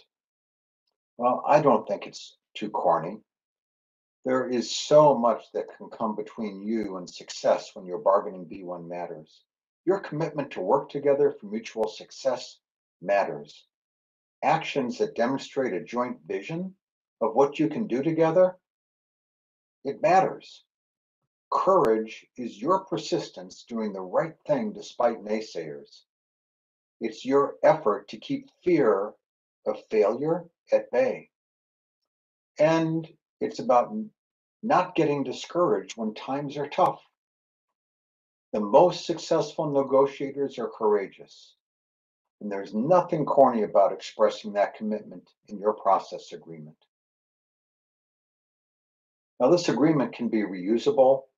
So investing a little time at the front and adjusting it, the agreement over time, that can really be worthwhile. So the second group of three I've just talked about, jointly adopt an appropriate bargaining model, learn both before and after bargaining, and adopt a process agreement instead of ground rules. That's completion of the second group of three. I'd like to now take a look at the third and final group of if you've attended this training from the beginning, you heard Tim Curry share the administration's perspective about Executive Order 14003 and B1 bargaining. You, hear, you heard Bill Kersner discuss federal sector collective bargaining, and you heard David Eddy use some important cases to help you better understand how the authority treats bargaining over numbers, types, and grades, and the technology, methods, and means of performing work consider delivering at least a short briefing on current bargaining policy and law for all bargaining team members before negotiating B1 matters. A joint briefing can increase the chances that union and management negotiators enter bargaining with a similar understanding of what they can do and what they should avoid doing in connection with B1 bargaining. Mediation is a form of assisted negotiation. In a typical year, agencies and unions negotiate their own resolution to more than 90% of the negotiability disputes mediated by my office. The primary reason for their success is that we help them refocus on the important things that they are trying to achieve, their interests, rather than the specific words of disputed language. The parties often find ways to adopt alternate language that hits the bullseye while avoiding negotiability concerns. They solve the negotiability problem themselves rather than ask a third party to resolve their legal dispute. You can focus on what you and the other party care about most rather than get sidetracked because of specific words in a B1 bargaining proposal but only if you adopt a similar problem solving approach and an integrative bargaining model. It's also important, of course, then to maintain a steady focus on what you're trying to accomplish. And once you agree on a solution, or at least a path towards that solution, then consider jointly drafting and adopting mutually agreeable language. The real point here is to consider shifting your focus from the specific B1 bargaining language to the underlying matter that you both care about. Your stakeholders might be unfamiliar with approaches identified in this section of the B1 training program. They might not authorize you to engage in a manner consistent with the best practices in this presentation unless they're educated about this bargaining process. If they don't already know, who will teach them if not you? You cannot afford to ignore this element. Negotiators who fail to educate their stakeholders sometimes enter negotiations without sufficient bargaining authority. Other times, uneducated stakeholders give the negotiator drop dead positions because the stakeholders don't understand what's required for successful integrative bargaining. Negotiators can bargain a great agreement, but, but stakeholders might fail to support the solution because they're inadequately educated about process. In some cases, I've seen stakeholders prevent negotiators from reaching agreements by placing excessive limitations on bargaining options, on policy, on what could be negotiated. I've also seen negotiators lose their positions in management and unions because they neglected to adequately educate and bring along their stakeholders. Even if you do everything else right, please remember to educate your stakeholders early and often. I promised you three groups of three critical elements for successful B1 bargaining, and this completes the third group. To be most successful bargaining B1 matters, demonstrate mutual respect for each other, for their legitimate interests, and for their ideas. Listen actively. Try to solve problems rather than just legal disputes. Jointly adopt an appropriate bargaining model engage in learning both before and after bargaining, adopt a process agreement instead of ground rules, brief all negotiators on Executive Order 14003 and other current bargaining policy, applicable law, and guidance. At the bargaining table, focus on what both parties care about most, rather than focusing just on language. And finally, engage your stakeholders early and often. Now, if something did not appear in this list, please don't interpret that to mean that it's unimportant. For example, I've not mentioned your overall labor management relationship, but it's a very important element of your success. Allowing for the learning curve is important, and allowing for the unlearning curve may be even more important. Be ready for oh, we're not moving fast enough. You're going to hear it. and I've barely mentioned negotiating online from multiple locations. I really hope this segment on successful bargaining for B1 matters has been useful. Please contact us through the FLRA or OPM websites, flra.gov, opm.gov. If we can do more to help you achieve more successful outcomes in your B1 bargaining. After a short break, please join us for a live Q&A session with FLRA Special Counsel David Eddy, FLRA Regional Attorney Bill Kirstner, OPM Deputy Associate Director for Accountability and Workforce Relations Tim Curry, and me. If you're watching a recorded version of this training program sometime after October 28, 2021, the Q&A session will be recorded and will begin right now because it's being appended to this segment. Thank you very much.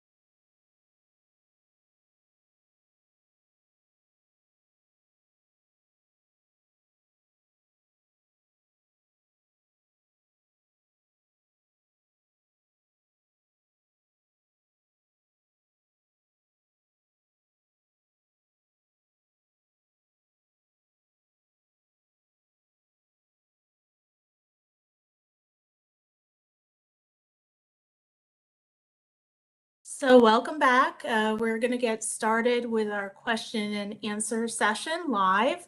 Uh, we've had a lot of really great questions submitted, so we wanted to thank you all for that. Um, please let me know if somehow I've been having a little trouble just with my video so I can go uh, just as a floating voice. So let me know how it all goes, please. Um, if we could start with Tim Curry from OPM. Tim, there were quite a few questions for you um, involving the enforceability of the executive order. Um, and I can just read a couple of them that were similar for you as, as a way to get you started here. Uh, the first one came in saying, a question I've had from day one is how is this EO enforceable?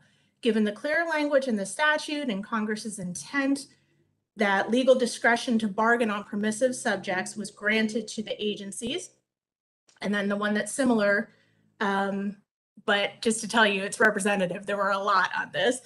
Um, how do we go about enforcing the requirement to bargain over permissive subjects under the EO? Can that be done with a charge or is there some alternative process to enforce the election to bargain if an agency is refusing to bargain over permissive subjects? Okay, uh, th- thanks for those questions, Jessica. Uh, I, I can't address whether a charge would be appropriate. That that ultimately would uh, rest with the FLRA. Although I would note that you know generally a ULP charge is a violation of the labor statute, and we're talking about an executive order requirement here. Uh, just just as a reminder, you know, uh, you know, Section Four of the executive order did uh, provide the president directed the head of each agency subject to chapter 71 to elect and negotiate over these subjects and instruct subordinate officials to do the same. So OPM did put out guidance uh, which uh, provided more explanation of the intent by the president in this executive order. And uh, a few things to note. Uh, we did note in our March 5th guidance uh, that a failure by agency managers to engage in bargaining over the subjects covered by 5 USC 7106B1 would be inconsistent with the president's directive. Uh, therefore, in order to carry out the policy decision of the president reflected in the executive order, agencies must commence bargaining in good faith over all these subjects.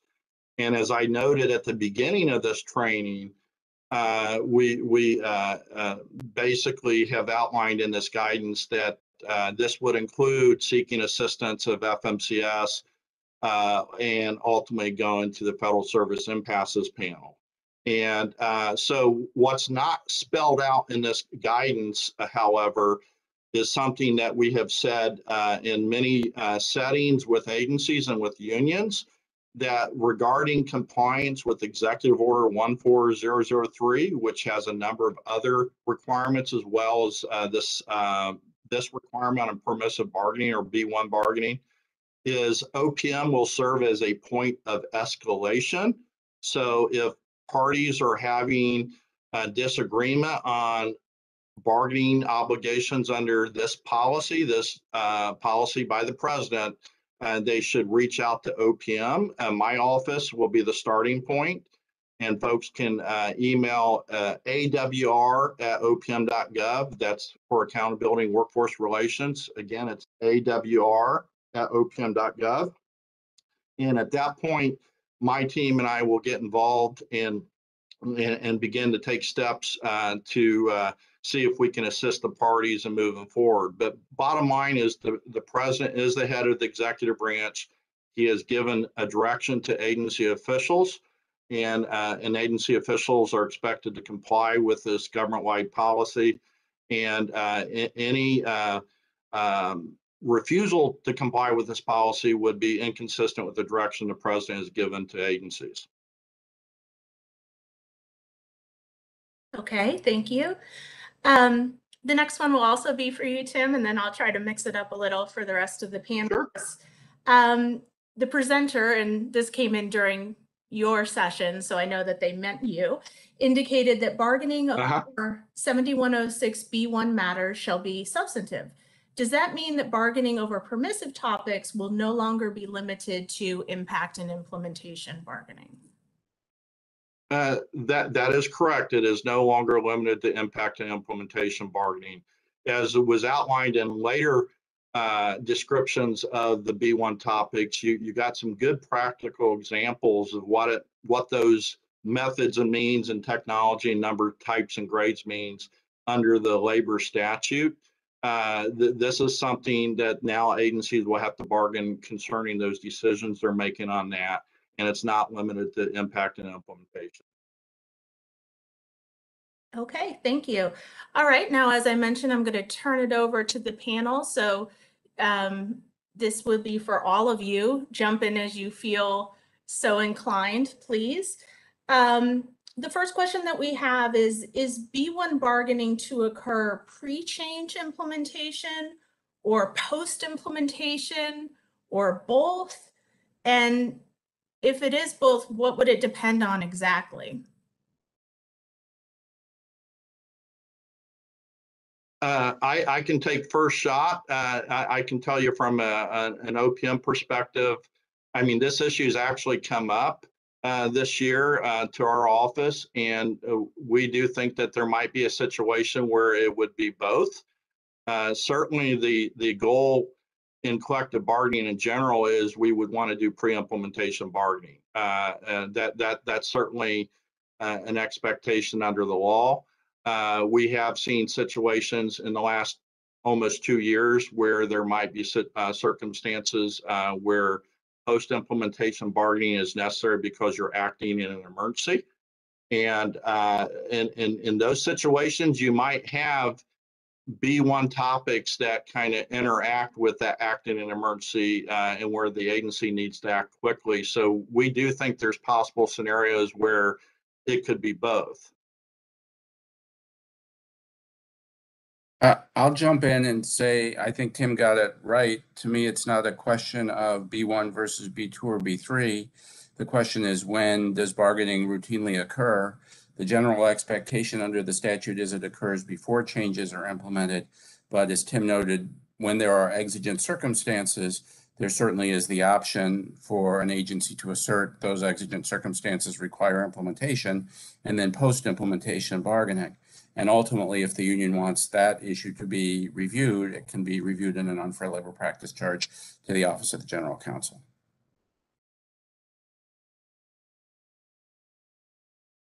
Okay, thank you. Um, uh, David Eddy, this one is for you. Um, and it's a question concerning official time. Um, and the question is, did the FLRA change how it approaches official time with regard to its effect on management's rights? That's a good question. Uh, thanks, Jessica. So, in, in- just a little bit of background. So the short answer is yes, but a little bit of background is in the past, the authority applied what they called the carve out doctrine, which said that official time under 7131 of the statute was negotiable without regard to 7106 of the statute. So even if an official time proposal would otherwise uh, affect a management right under 7106, it was still negotiable under 7131 of the statute. Um, in actually a decision, the cite is 71 FLRA 1247. The authority um, reversed that rule and said that the carve out doctrine no longer applies. So if you have an official time proposal that affects management rights, the authority will go through its normal management rights analysis and assess whether it affects the management right and whether it falls into some exception to management rights under 7106B. So the short answer is yes. Well, while you're on a roll there and while you get some water, we'll just continue on with you for a moment, David. Um, there was a question that came in that says, I'm concerned about the matters in 7106A that overlap with 7106B, um, such as an organ, agency organization. Um, does the authority or OPM have any guidance or training on differentiating between 7106A and 7106B um, rights and obligations under the statute. One thing that I would, one reference that I would point people to that, or actually two references that I would point people to that are helpful are Uh, the authority has on its website a guide to negotiability under the statute that has a fairly extensive discussion of 7106 and how the different parts of 7106 uh, relate to one another. Um, and there's also some discussion of that in the guide to arbitration as well. I can't remember whether there's much of a discussion of, of that specific topic in sort of the OGC side ones. Bill, would you say that there's guidance that's helpful there on the OGC side? Um, yeah, I'm, I'm, I'm not sure. Yeah, I couldn't remember either, but yeah, there's definitely some guidance and we've given training in the past on management rights. Um, you'll, you, some of the old trainings may still be up on our website, but it's been a little while since we've done it, but um, there are definitely reference materials you can look at that are helpful. Okay, and one that's sort of similar. Um, what is FLRA's role if an agency declares a proposal non-negotiable under B1? Are some but not many case precedents on the matter involving organizations similar to what was discussed today regarding classification? Okay, um, so the authority's role for that part of the question, the, what would typically happen, at least at the authority member level, is if you're at the bargaining table and an agency says that a union proposal is, um, permissively negotiable under seventy-one oh six B one, uh, and let's say the agency refused to bargain over it, um, the union could file a negotiability appeal with the FLRA members directly, and they could decide whether or not, in fact, it involves a, a B1 matter. Um, so that's sort of how I see the authority's role, at least in that context. Um, the part of the question about organization versus classification, I see them as sort of different, different issues. So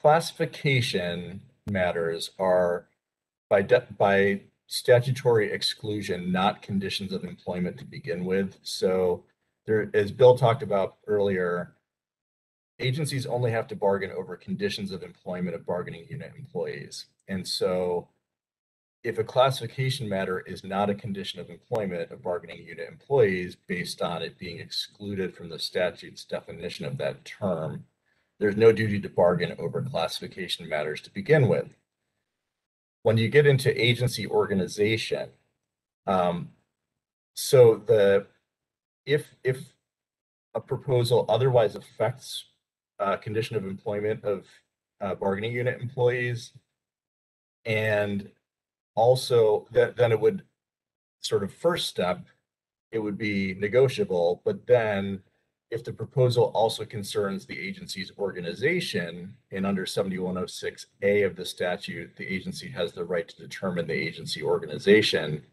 then it would be outside the duty to bargain unless it fell, the proposal fell within an exception to management's right to determine organization.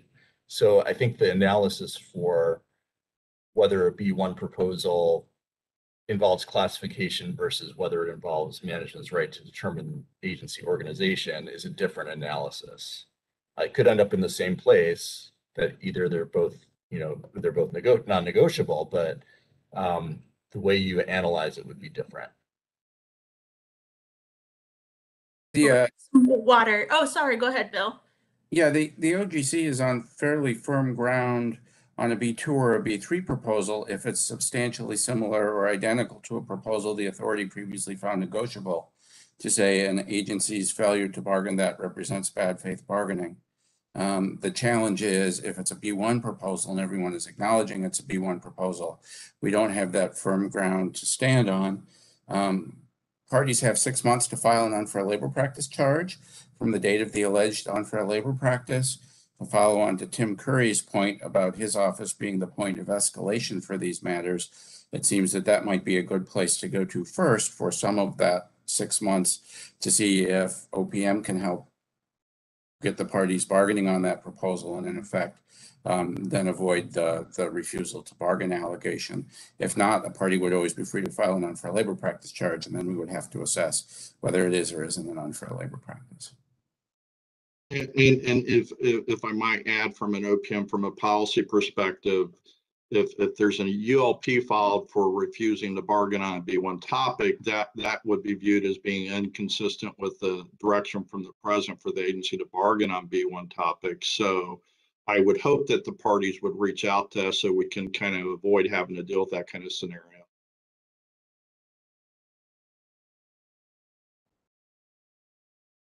All right, well, I'm going to, um, Michael Wolf has quite a few questions, so I'm going to turn it over to him. You guys rest up. I'll be back to you shortly. Um, Michael, if you're there, I had a couple questions for you. Um, one of the first questions that came in was um, if you were able to provide an example for uh, the participants watching today and later of an agency and a union that really engaged in successful B1 bargaining. Yes, uh, and Jessica, I'm here. So, uh, yeah, I can provide an example. Um, I'll just refer to the parties as agency and union, um, since um, I would otherwise want to ask their permission before further identifying them. But uh, in this example uh, that I'm thinking of, the agency wanted to dramatically change the nature of a nationwide group of bargaining unit employees uh, or their positions. And the change in that case um, affected qualification criteria and selection criteria to fill vacancies.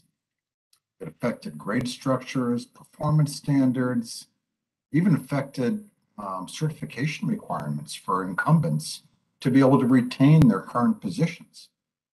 So it's a fairly dramatic uh, change they, they anticipated. Um, to make things even more interesting, there were different national unions that represented bargaining employees at various locations around the country um, that this would all affect. Uh, the unions wanted to bargain over procedures and appropriate arrangements, of course, about the way that management chose to exercise its 7106A rights, but the unions also had a very strong concern about aspects of the change that implicated numbers, types, and grades of the bargaining employees and the methods and means by which those employees would accomplish their work after this change. So the unions and the agency in, in this particular case did something that they had never done before. They formed a, a national bargaining process where um, each each party, um, the agency and the multiple unions, um, established bargaining teams to jointly, it's one bargaining process, bargain over the change. Um, and that included the B1 aspects of the proposed change. I, I trained the parties to use integrative bargaining methods to help them construct uh, a process that might help them be successful. And they adopted a, a process agreement, as I discussed in my presentation just a short time ago. And uh, I served as a neutral process advisor and a coach for all the teams as they prepared and engaged in the process. I did not attend any of the bargaining sessions, uh, but from what the parties reported to me, they struggled, as you would expect. It was very complex and difficult uh, and high stakes for all of them, but they also succeeded. Um, and uh, my understanding is that the end result they considered to be a success for all of them. Well, that sort of leads me to a follow-up question, if I can. Um, there was a question that came in during your um, session that says, how, if at all, can you bargain integratively when the party's interests are inherently in conflict or when the other party is using a distributive model?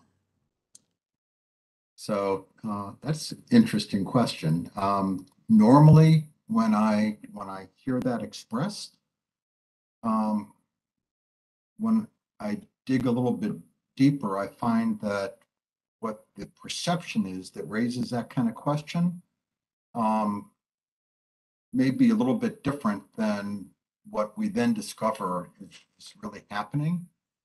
Uh, interests rarely are in conflict. Um, generally, interests are either what we call separate or common. Um, either we have separate interests or we have common interests. The common ones are the ones, of course, that overlap and have similarity.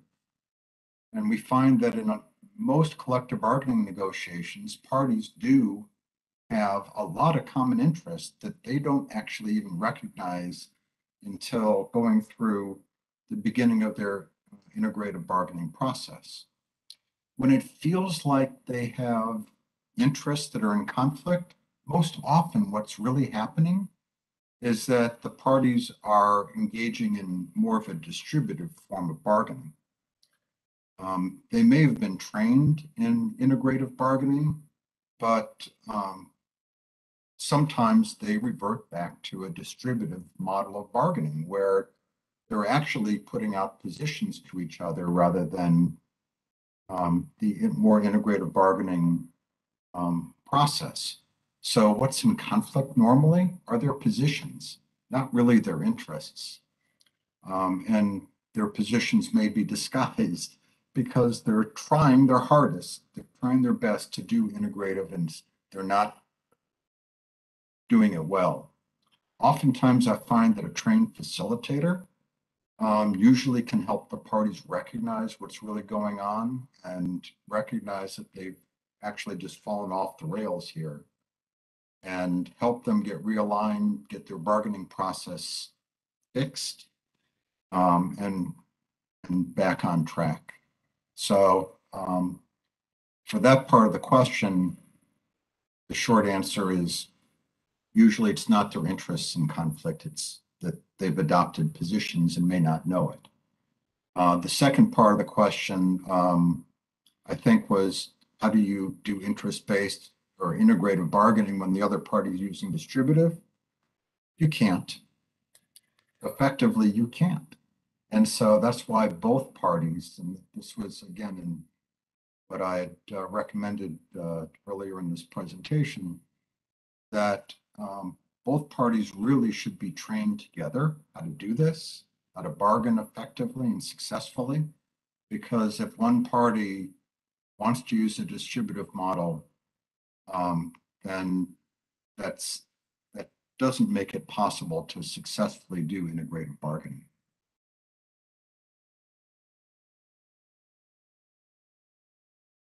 Okay, don't go anywhere. I'll come back to you. um, David, I had a few more questions that came up during your um, session. Um, I think you mentioned during your presentation that um, military uniforms were methods and means of performing work. Um, but it was this questioner's understanding that military matters were just off the table, illegal to bargain over things that were, you know, concerning military matters. Can you shed some light on that? That's a good question. It's it's an important clarification. Um, so generally, no, you cannot bargain over military, well, you cannot bargain over military conditions of employment under the statute. Um, but there are certain employees who serve in a dual status, so they're both sometimes in a civilian capacity and sometimes in a military capacity. And the cases involving methods and means of performing work and uniform uh, proposals are all about proposals that employees are able to wear their uniform or wear something other than their uniforms when they're in their civilian capacity. So that's sort of the limitation on that case law. Um, the authority has not held that uh, it's a permissive subject of bargaining for you to bargain over whether to wear military uniforms when you're in your military capacity. That would be completely off the table. And another one for you while we got you in the hot seat here.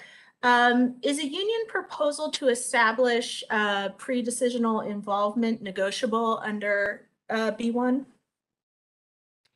Oh, um, so I'm not sure that the authority has ever ruled on this.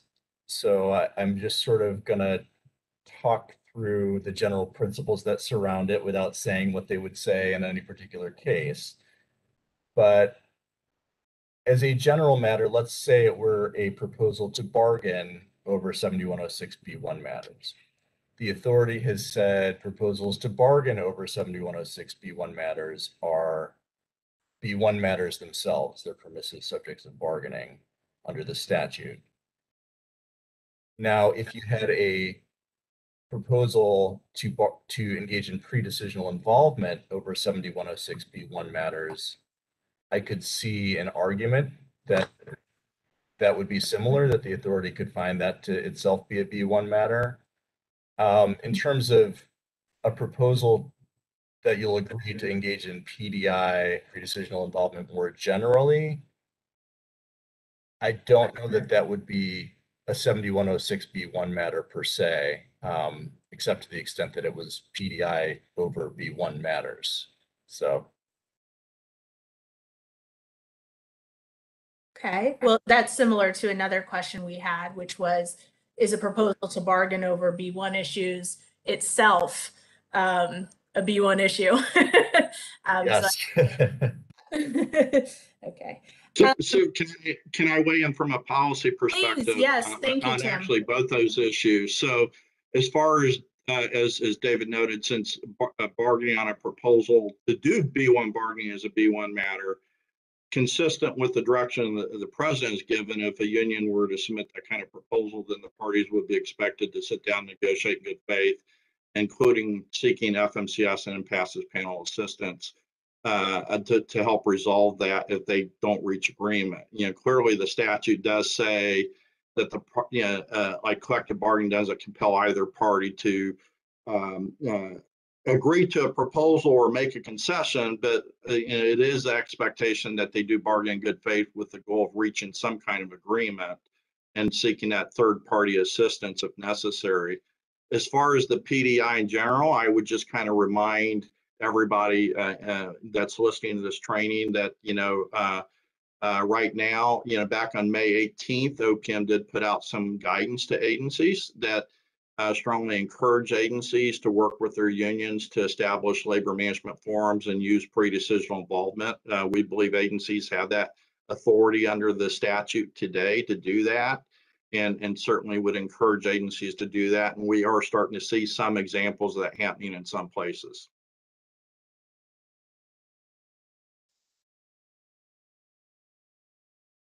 okay, and I think this will be a question for everybody. We're all dealing with it um, as federal employees. Um, But the question was, is bargaining over post-pandemic return to work a 7106B1 matter? And anyone who wants to jump in on that one? At the Uh, risk of, just, oh, go ahead, oh, go sorry. ahead. no, no, I was just gonna say, Uh, go ahead, Tim, sorry. Oh, well, I, I- I'll just say real quick, I, I, I believe it could potentially involve both depending on, you know, the, the policies that agencies will implement and, and the- any, uh, new, uh, changes that are being made, you could potentially see both, so. Yeah, I mean, I think I, I agree with that, and I think that you know, it depends on what you're proposing, what you're, uh, you could have some agencies where a return to physical work has more of a link to the methods and means of performing work under B1 than it does for other agencies. You could have bargaining proposals involving you know, if remote work and what sort of technology you're going to provide employees if they do engage in remote work or telework and things like that. So there can be a whole range of things that could fall under B1, but there could also be a lot of things that don't. So basically what Tim said. You said it better, Dave. Bill, did you have something you wanted to add? Yeah, I tend to focus on the proposals themselves, and so many proposals are going to be B2 or B3 procedures, timing, what happens when someone gets sick or someone in someone's families get sick, how that'll be dealt with. Those are clearly B2 or B3 proposals. Um, the question is then what types of proposals could be written that would impact B1 matters and submitted. Okay, and so just to follow up on, on um, what you guys had talked about a little bit, and I think specifically David had mentioned about methods and means and how that could uh, differ from agency to agency. How specific does an agency need to be in showing that they have an established method or mean? Well, I think if they're making an argument that something involves methods or means, is a general, if they make just a general claim, um, I, what comes to mind are cases where, for example, employees wanted to choose their seating arrangements, and I think one of my slides during my presentation may have cited one of these cases. Um, you know, whether or not that concerns methods or means depends on what the agency argues. So we've had cases where an agency has come in and said, it's helpful for employees to sit next to each other because it builds camaraderie.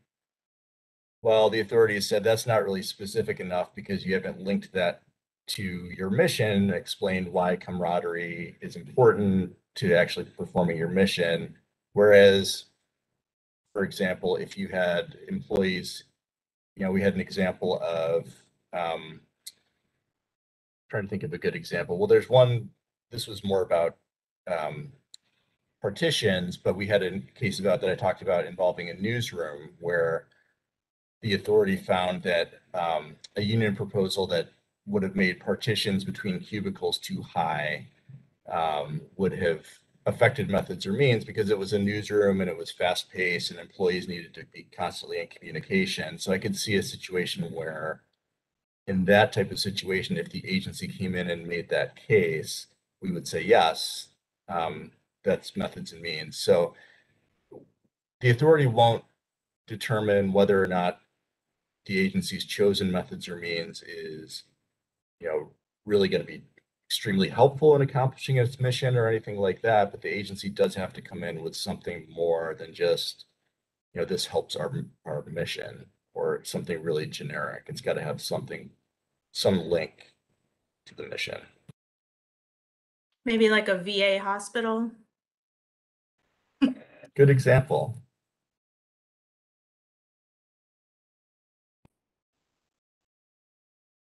All right, Michael. Um, we had this question that sort of goes to overall just, I think the trust process and and and working together. But the question came in that the parties don't trust each other when bargaining over other things. Um, and so the questioner asked, why should we trust each other when bargaining uh, permissive subjects? Well, thank you for that question, whoever submitted it. Um, Labor management relationships are institutional. They're designed to transcend time and changes in personnel. Trust is not institutional. Trust is personal. Trust is earned. Uh, so if I'm a new representative of management or a union, it would really, I think, be a mistake for me to enter into some existing labor management relationship and think that I can inherit the inherit the trust that others might have had from my predecessor. Unfortunately, the converse is not also true. I can enter an existing labor management relationship and I can inherit the mistrust that they had from my predecessor. And that's not something about unions or employers, that's something about people in general. So trust, I, I like to tell people, trust is like a house plant. Don't create trust, you grow it. And like that house plant, trust grows slowly over time, provided that you feed it and you take care of it and you water it. And also, like that house plant, trust is far easier and quicker to damage than it is to grow. Um, if you have house plants like mine, you've probably had that experience. I've got at least one that's still alive. Um, thank goodness it's resilient. And like labor management relationships, we need to grow resilient relationships that can withstand the ups and downs of trust because they do go up and down. Now, once you've damaged trust, it's far more difficult to regrow it. It's not impossible, just more difficult. Um, now, do you need trust in them, whoever them might be? Do you need trust in them in order to effectively negotiate with them? Whether it's distributive bargaining or integrative bargaining or whatever label you put on it. I don't think that you absolutely need a high level of trust in them if you can trust the process and trust the managers of the process, which is oftentimes why parties will enlist somebody to help them jointly craft a process that, that they can trust um, as a at least a temporary substitute for having a high level of trust in each other. And then oftentimes they'll identify somebody who can help manage that process um, so that parties can control and own the substance while whoever they identify as their trusted process manager can manage the process and make it a, a trustworthy process. Um, if you're somebody who shares responsibility for damaging trust in the labor management relationship, or if you inherited a relationship that's dominated by mistrust, consider taking steps to repair that damage. Now, it means affirmatively actually doing something. It takes time, no matter what you do, even if you do all the right things. So today might be a really good day to start. And because trust is personal, the repair efforts can't be effectively delegated. So if if I'm the one responsible, I really need to be the one taking the lead on trying to fix that trust issue. Um, I also think that despite what some kind of authors and trainers might suggest, there's no magic formula for repairing damage to trust. Uh, you know, at least in a labor management relationship. Um, it's also not a unilateral exercise. It really does require effort by both parties.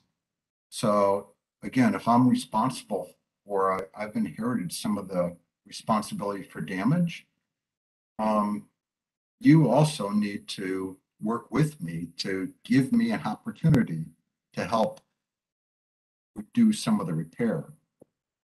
And in the meantime, expect that if you're doing B1 bargaining, it is going to be more difficult. Um, that lingering mistrust is going to be a barrier. Most likely, bargaining is going to require more resources. It's going to take longer. It's going to feel like you're being asked to make additional concessions.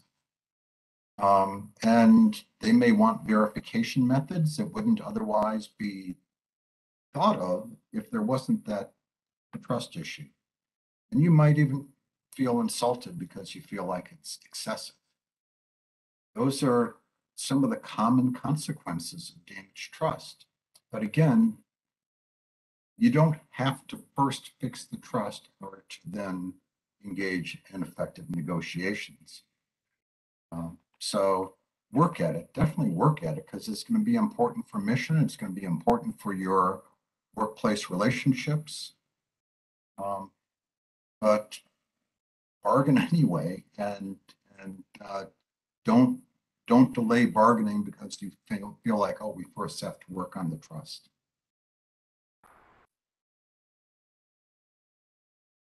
Thanks. Okay, um, the next one, I think probably maybe it's a policy question and, and then, so maybe go to Tim uh, from the OPM perspective and then perhaps uh, Bill and David have a take on it as well from a statutory perspective. But the question came in um, while we were chatting.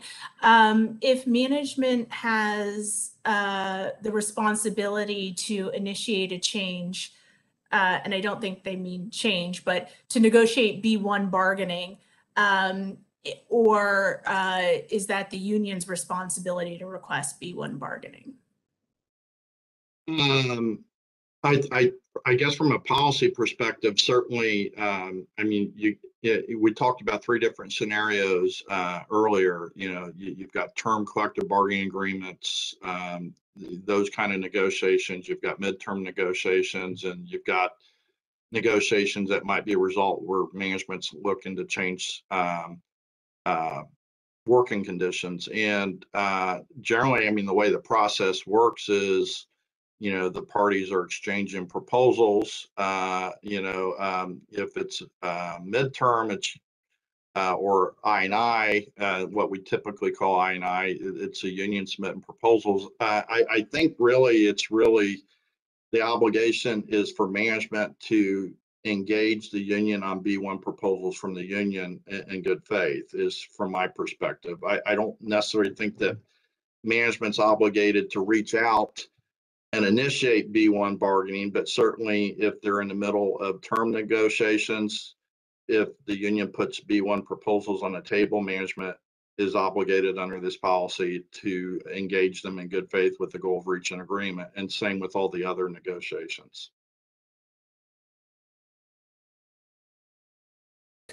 Traditionally, management comes forward with the proposal first, if you're not in term bargaining, we want to have a new travel system, for example. The union typically doesn't get to bargain that B one, which travel system is going to be purchased. The union's proposals would be B two and B three, when it'll be implemented, how staff will be trained, what happens if staff makes mistakes using the new system. So it's the opportunity for the union to come forward with proposals. And at that point, then if the parties are bargaining B one, the union could submit some B one proposals also.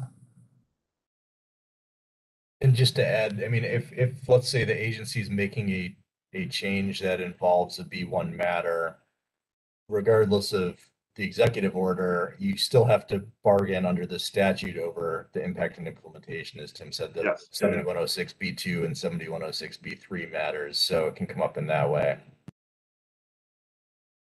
Okay, and the follow-up, I guess, to that, Michael, would be, what if um, the parties agree to bargain B1 matters, but really just don't have the time to do what you suggested that they do? Kind of the next step. So, um, there's, there's no magic formula here for success. Um, but thinking that we can invest little and get a lot out is not always a, you know, a proven formula for success.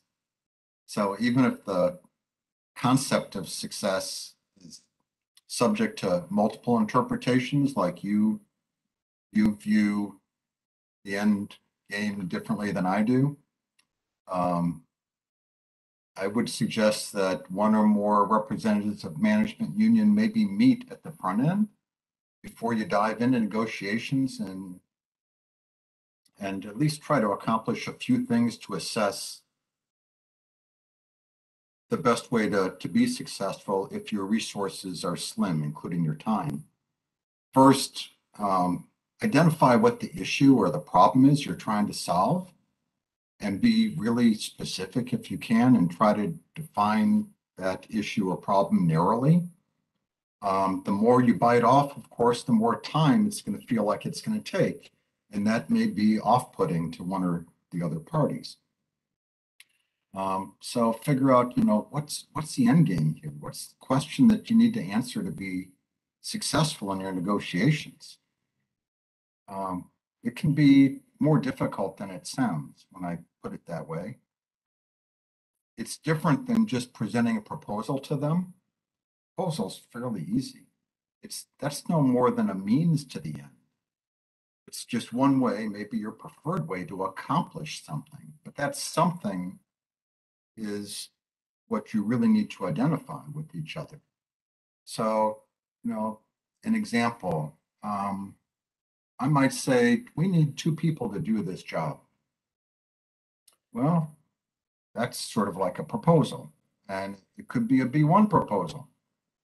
Um, so what's the job and why do you need two employees to do it? So the job may be planting trees and we need two employees on the job to uh, protect their health and safety from one party's standpoint, because those trees are heavy. And then um, from the other party's standpoint, we want the tree to be alive after we're done planting it. So we need someone to hold that tree up as we're filling that hole with, you know, backfill. Uh, and whatever the, the tree needs to survive.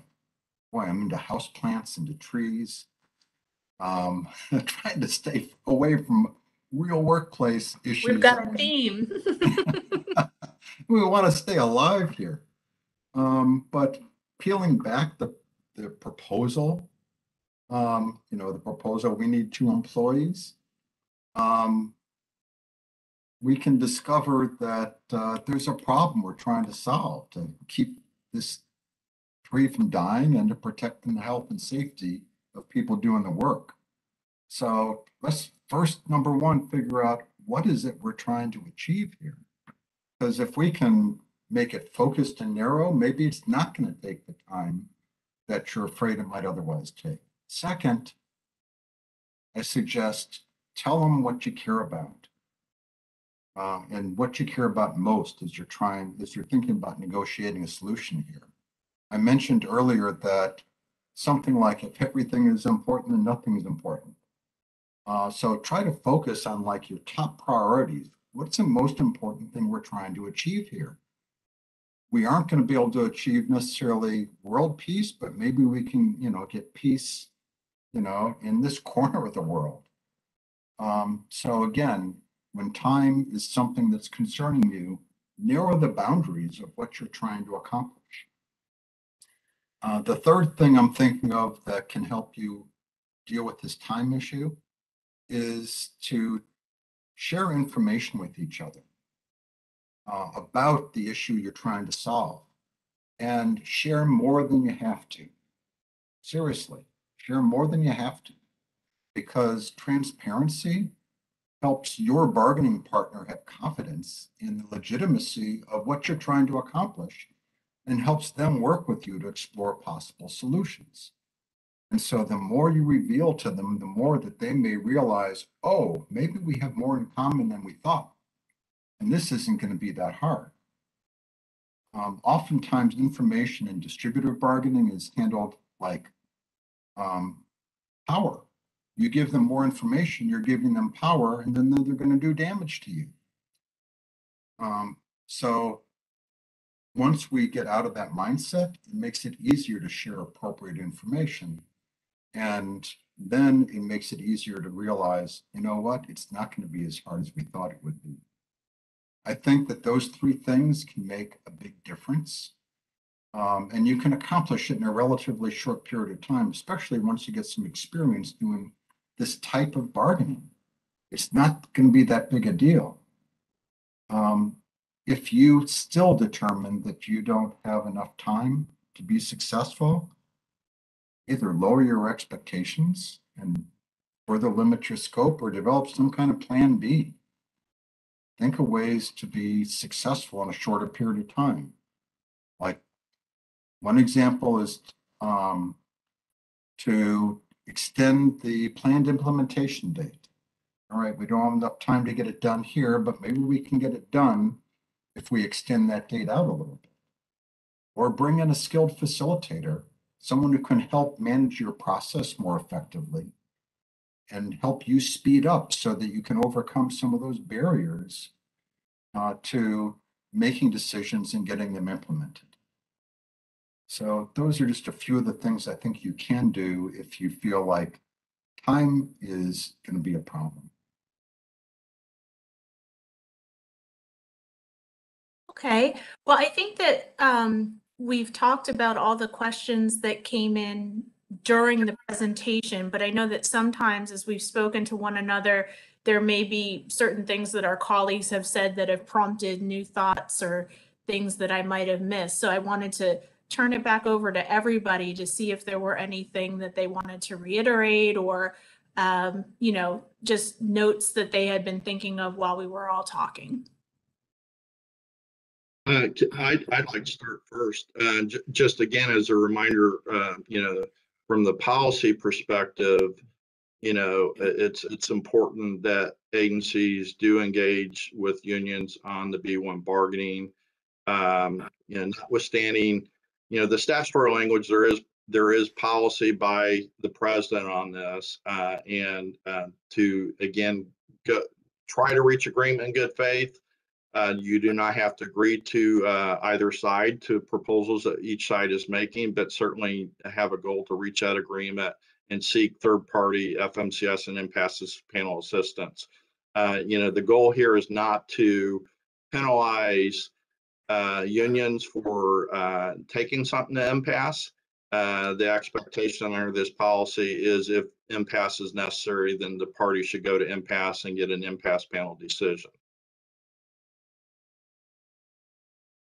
I'd like to come in um, and, and reinforce what Michael Wolf said.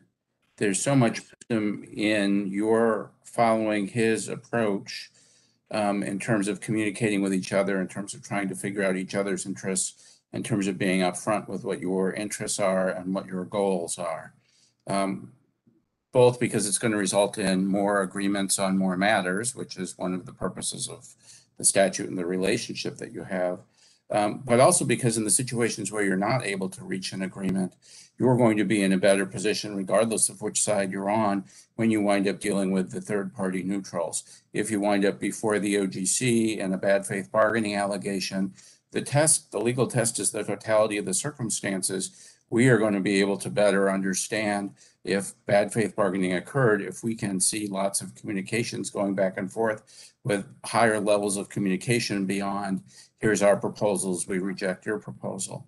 Similarly, if you wind up, as Tim Curry just mentioned before, the Federal Service Impasses Panel, um, you're going to be in a better position if they can read the documents that you've created and understood, not just your positions that you accepted or rejected, or that the other side accepted or rejected, but the reasons why, what your interests were, what principles you were standing on, what fears and concerns you had with the other side's proposals. So all of this is embodied in what Michael Wolf was talking about in terms of the way you approach each other and conduct these conversations, this this bargaining. It does take more time, it does may take more energy, but at the end of the day, it can both provide you better results up front um, in terms of agreements and put you in a better position if you wind up dealing with a third party. And if I could build on what Bill just said a little bit. Um,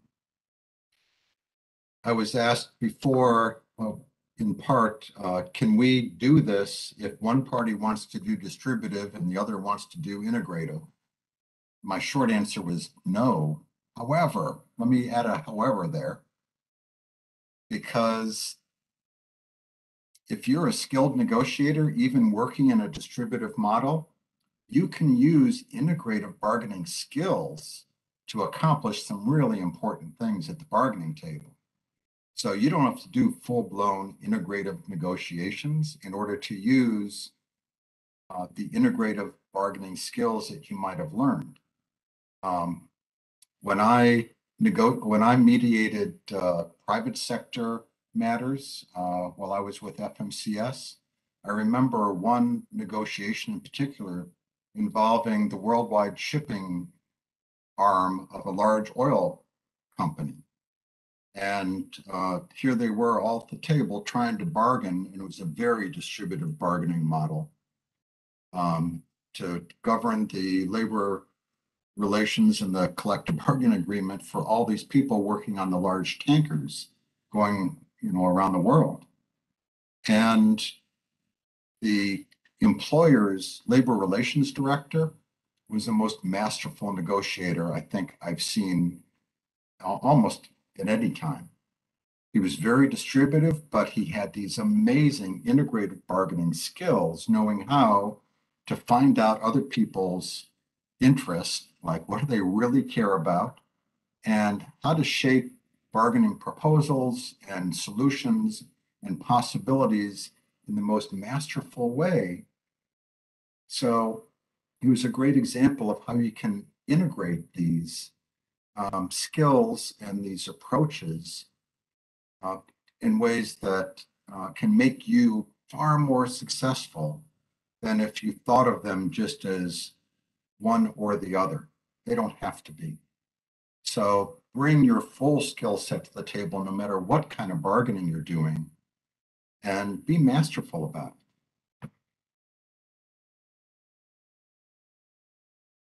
David, any last thoughts and impressions?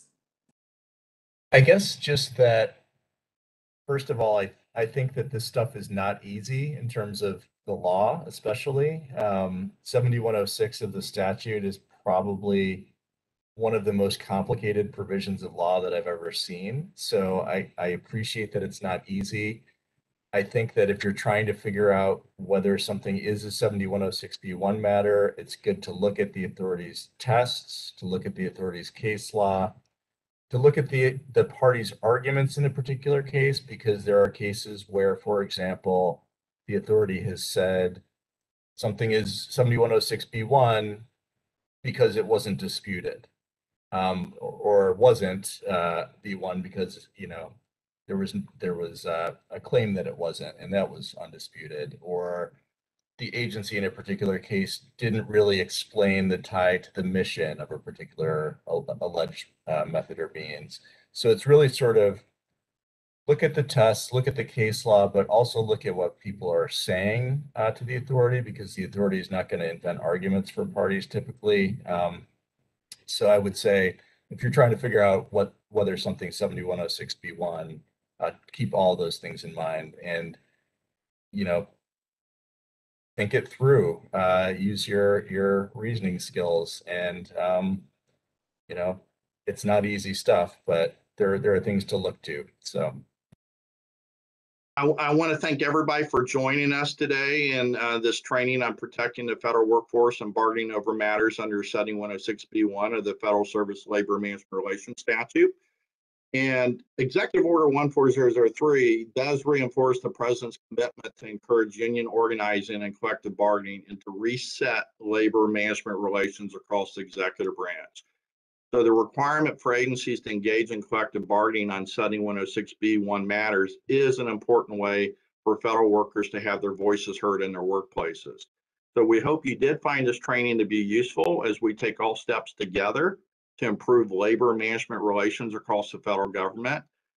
On behalf of the Office of Personnel Management, I would like to thank FLRA Chairman Ernie DuBester and Acting General Counsel Charlotte Dye for their active support of this training.